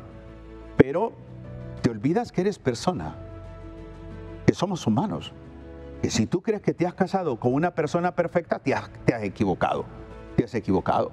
claro, es muy doloroso pensar que esa persona que dice amarme me va a traicionar. Pero es que es humano, es persona. Entonces, también ese sentido de, cómo desde la realidad humana buscamos de Cristo, buscamos que el Señor sane la herida, restaure la relación para tener una vida más estable. ¿Se puede recuperar un matrimonio? Sí, pero los dos tienen que estar de acuerdo. Pero más el trabajo no es para el cónyuge no infiel. No, el trabajo más arduo es para el cónyuge infiel. ¿Por qué? Porque tengo que reparar lo mal hecho. Tengo que volverme una persona creíble. Tengo que ser un esposo o esposa totalmente diferente. Más cariñoso, más transparente, más consciente, más abierto, más prudente, más tolerante. Porque es que hay tanto que hablar de esto. Cuando se descubre la infidelidad, esa etapa es una etapa de dolor. Hay un duelo. Y ese dolor y ese duelo, si, si eh, lo vive más intensamente el cónyuge no infiel, lo descubrió. Es un dolor increíble, un, pero, pero, pero estoy hablando no de un dolor físico. Que el dolor físico te compras unas pastillas, ya te lo tomas y ya estuvo. Claro. Pero es un dolor emocional. Y ese dolor emocional te promueve frustración, rabia, impotencia y te lleva muchas veces a estados de ansiedad, de depresión, a pensamientos suicidas y todo lo demás. Pero también está el cónyuge infiel consciente, siente dolor. Siente dolor, siente vergüenza, siente pena, siente un dolor muy grande porque es que yo amo a esta persona y por mi culpa. Entonces los dos sufren. Yo siempre digo, eh, siempre hay que buscar ayuda. Siempre hay que buscar ayuda. Pero cuando digo buscar ayuda no es con la comadre, no es con el amigo que va a chupar y eh, desahogate. Mira, ¿sabes qué? Es que yo sé lo que yo hice con mi marido. Eso es dar receta, eso no funciona. ¿Por qué? Porque cada persona es un universo, cada matrimonio es un universo. Entonces, ojo, y también hay matrimonios que a mí me sorprenden cómo, cómo han afrontado una infidelidad. Porque la infidelidad también nos hace ver cómo, cómo estamos nosotros manejando, qué tan maduros somos, espiritual y emocionalmente. Si no tengo una madurez espiritual, una madurez emocional, lo primero que pienso es una reacción violenta, lo corro de casa, no le hablo, no me importa y nos casamos por la iglesia, no me importan los hijos, hasta aquí nomás. Pero si hay madurez emocional, ven para acá, busquemos ayuda, sentémonos. ¿Qué ha pasado? ¿Qué te llamó la atención de esa persona? O sea, es que hay que hablarlo. No es que, no, es que yo no sé cómo, es que, es que, no, no, no, todo eso, todo eso fue todo un proceso. La infidelidad es un proceso. Una persona que seguramente ha sido infiel o que tiene esta conducta de, de infidelidad eh, va a necesitar ayuda. Ya no, nos lo dejó claro y no lo va a hacer solo. Y muchas veces se les deja solo. Por eso vuelven a, Eh, a incurrir, a- sí. a recurrir a, a la infidelidad. Entonces, ¿cómo se le puede ayudar? ¿Cómo la pareja también tiene que dejar cierta parte, aunque duela? Es que de eso se trata el amor, ¿verdad? Que duele. Sí. Aunque duela, acompañarle para que ya no siga cometiendo este error. Bueno, se le puede sugerir. Recuerda que buscar ayuda es un acto de voluntad. ¿Mm? Se, le, se le puede sugerir o yo he atendido casos que, por ejemplo, cuando el hombre es infiel, la mujer es la que dice, ¿sabes qué? Si no buscas ayuda, esto se termina. Si el hombre empieza con el señor tal Oscar Osorio hablar o con un psicólogo, porque mi- voy voy a hablar un poco de, de mi trabajo. Yo no lo desarrollo yo solo. Eh, mi hijo Oscar es psicólogo y tengo otro Oscar también, eh, es la reunión de los Oscars, entonces es psicólogo también. Entonces, el trabajo de consejería no lo hace uno solo. Cuando ya miro yo, por ejemplo, que es, que es una conducta infiel, yo lo remito. Lo remito, porque ya es, ya es una conducta infiel, o sea, ya, ya requiere un proceso psicológico. ¿eh? Entonces, así lo trabajamos. Entonces, muchas veces sí eh, se le ayuda en la medida que se le hace ver que, mira, ¿sabes qué? Eso no es normal. Eso no es normal. Mira, cuando yo estaba estudiando, voy a hablar de mí, cuando yo estaba estudiando para, para dar consejería, uno, uno de los, de los dentro del, del proceso de aprendizaje, me pusieron un maestro me puso a, a escribir y a ver mi árbol genealógico, paterno, materno. Y fui viendo los rasgos de, predominaban dos rasgos en el árbol genealógico paterno, alcoholismo, infidelidad. Entonces eso tuve yo que, esta- eh, que hacer ver, verme a mí mismo en el hecho que si no ponía límites, si no me cuido, voy en ese camino. Entonces uno también tiene que ver su árbol genealógico. ¿Eh? ¿Cómo fue la conducta del abuelo? Ah, que el abuelo tenía tres hijos en el matrimonio y seis fuera del matrimonio. Era el padrón del pueblo. El tío, el tío tiene esto más esto. Mi papá, esto más esto, más esto, más esto, más esto. Entonces, no tiene que tomar conciencia de eso. Eso no lo podemos ver como normal. La fidelidad hoy en día se ve anormal. Eso es lo más doloroso. La fidelidad se ve anormal. ¿Eh? ¿Por qué? Porque estamos en una sociedad que promueve más los antivalores que las virtudes. Don Oscar, bueno, tantas cosas que podemos hablar sobre la infidelidad y nos hemos quedado, quedado cortos y solamente estábamos hablando del matrimonio. Va a llegar un momento en que hablemos de la infidelidad también en la amistad, en la, la amistad, familia, que, en el trabajo. En el trabajo, que suele suceder. Así que son muchas formas en cómo también nosotros podemos ir abordando poco a poco. Vamos a hacer una oración Claro que sí. para que esas familias que seguramente están pasando este trago amargo puedan salir adelante, ya sea esposo o esposa. Correcto. Vamos a orar en nombre del Padre, del Hijo, del Espíritu Santo. Amén. Señor, te damos gracias porque a través de este medio y este diálogo, tú llegas a tantos hogares, a tantas mujeres y hombres que quizás están viviendo esta situación dolorosa que promueve la infidelidad. Ayúdanos, Señor, a sanar las heridas. Da la sabiduría y la gracia del perdón, pero por sobre todo, entender que caminar contigo es caminar en libertad, porque el pecado nos esclaviza. Te queremos colocar en tus manos a este hombre, a esta mujer que está sufriendo a razón del acto de infidelidad de su cónyuge. Oh Dios, derrama la gracia de la sanidad interior para que este matrimonio sea restaurado, para que en ti encuentren el sentido correcto de amarse, para que esta persona que ha cometido un acto de infidelidad o tiene y ha desarrollado una conducta infiel, tú Señor le ayudes a encontrar el camino de la santidad, para que logre entender lo que dice San Pablo, que el que está en ti, Señor, es una nueva criatura y las cosas viejas, las cosas viejas pasaron. Que la gracia de tu amor penetre la vida de este matrimonio que nos ve, que nos ha escuchado, la sanidad y que restaures la relación. Y Dios, pon las personas idóneas para que esta pareja reciba la ayuda que les conviene en este momento. A ti Virgen María y a ti San José les rogamos a ambos que intercedan ante Cristo, especialmente por esos matrimonios que están atravesando el dolor que se experimenta a través de la infidelidad. Todo Padre lo pedimos y agradecemos en el nombre de Jesucristo, que vive, reina y señorea por los siglos de los siglos. Amén. En nombre del Padre, del Hijo y del Espíritu Santo. Amén. Agradecido. Ánimo Jimmy.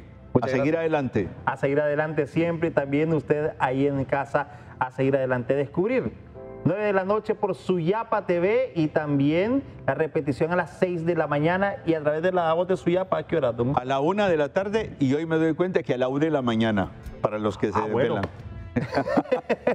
a seguir, a seguir. Y ya está disponible también todos estos contenidos a través de la plataforma de YouTube. Gracias por esa buena vayan- noticia. Para que vayan también a seguirlos por ahí, para que se tome su tiempo, sus apuntes y otras cosas por ahí. Escuchamos también una, eh, un material que hemos preparado sobre la Asunción de María. Hoy los católicos celebran la Asunción de María Virgen al cielo, un dogma que resuena en los corazones de millones de personas alrededor del mundo. Este no solo marca la creencia de que María, Madre de Jesús, fue llevada en cuerpo y alma al cielo, sino que también simboliza la esperanza de la humanidad en la vida eterna. La Asunción es una celebración que inspira devoción y consuelo, recordándonos la promesa de la salvación y el amor incondicional que María representa. Su ascenso glorioso es un faro de fe y una invitación para fortalecer nuestra relación con Dios, aspirando a la pureza y bondad que ella encarna. La dulzura de este misterio mariano toca los corazones de los creyentes, elevándolos en oración y reafirmando su compromiso con los valores cristianos. Este día especial los cielos se abren en gesto de acogida divina, invitándonos a reflexionar sobre la trascendencia y la esperanza que María en su asunción nos ofrece. Qué bonito mensaje acabamos de escuchar y también agradecemos a aquellos que hacen posible esta franja matutina. Así que agradecemos, como usted dice, a todas esas marcas. Así es. En Banco de Occidente, ahorra en cada etapa de tu vida. Abre tu cuenta de ahorros para tu casa o auto soñado.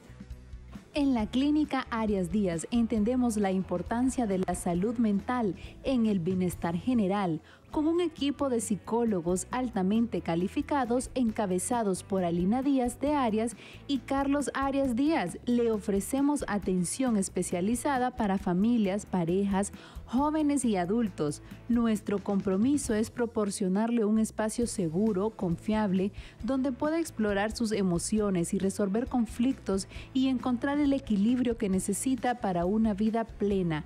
Visítenos en Torre Excala, en la Colonia América. Haga su cita hoy mismo llamando al 9599 1156 en la Clínica Arias Díaz. Tu bienestar es nuestra prioridad. Te esperamos. El sueño no te deja avanzar. No dejes que te detenga. Descubre Alertex 24, el medicamento seguro que te quita el sueño sin darte alas. Disponible en tu farmacia más cercana a nivel nacional. Vence el sueño con Alertex 24, producto de laboratorios Andifar. Más de 50 años comprometidos con tu salud. Recuerda consultar con tu médico. En este Hot Week, prepárate para aprovechar las ofertas más ardientes de la temporada. Llévate todo lo que quieras con increíbles descuentos de hasta un 60%. Aprovecha tu crédito fácil, rápido y seguro con hasta 18 meses sin intereses. Compra en lacurazaoonline.com o al WhatsApp 3291 5052. Te esperamos del 9 al 19 de agosto para que no dejes pasar las ofertas más hot. Solo en la Curazao para vivir mejor. Bueno, y nosotros también agradecemos a todas esas marcas que hacen posible Alegre la Mañana. Catherine, hoy es día de la Asunción de la Virgen María, ya casi estamos llegando a las 12 del mediodía. También tenemos este rezo del Ángelus, pero nosotros queremos rezar un Dios te salve, porque es necesario para este día. ¿Lo dirige usted? ¿Está bien? Ok, entonces vamos a orar a nuestra Madre Santísima. Dios te salve María, llena eres de gracia, el Señor es contigo. Bendita eres entre todas las mujeres y bendito es el fruto de tu vientre Jesús. Santa María, Madre de Dios, ruega por nosotros los pecadores, ahora y en la hora de nuestra muerte. Amén. Amén. Así que le pedimos a nuestra Madre Santísima que interceda por cada uno de nosotros y por cada uno de ustedes y por sus familias también. Así que a seguir adelante, pedir siempre la intercesión de nuestra querida Madre. Nos vamos, buen provecho y esto fue Alegre la, mañana, que nos habla de Dios.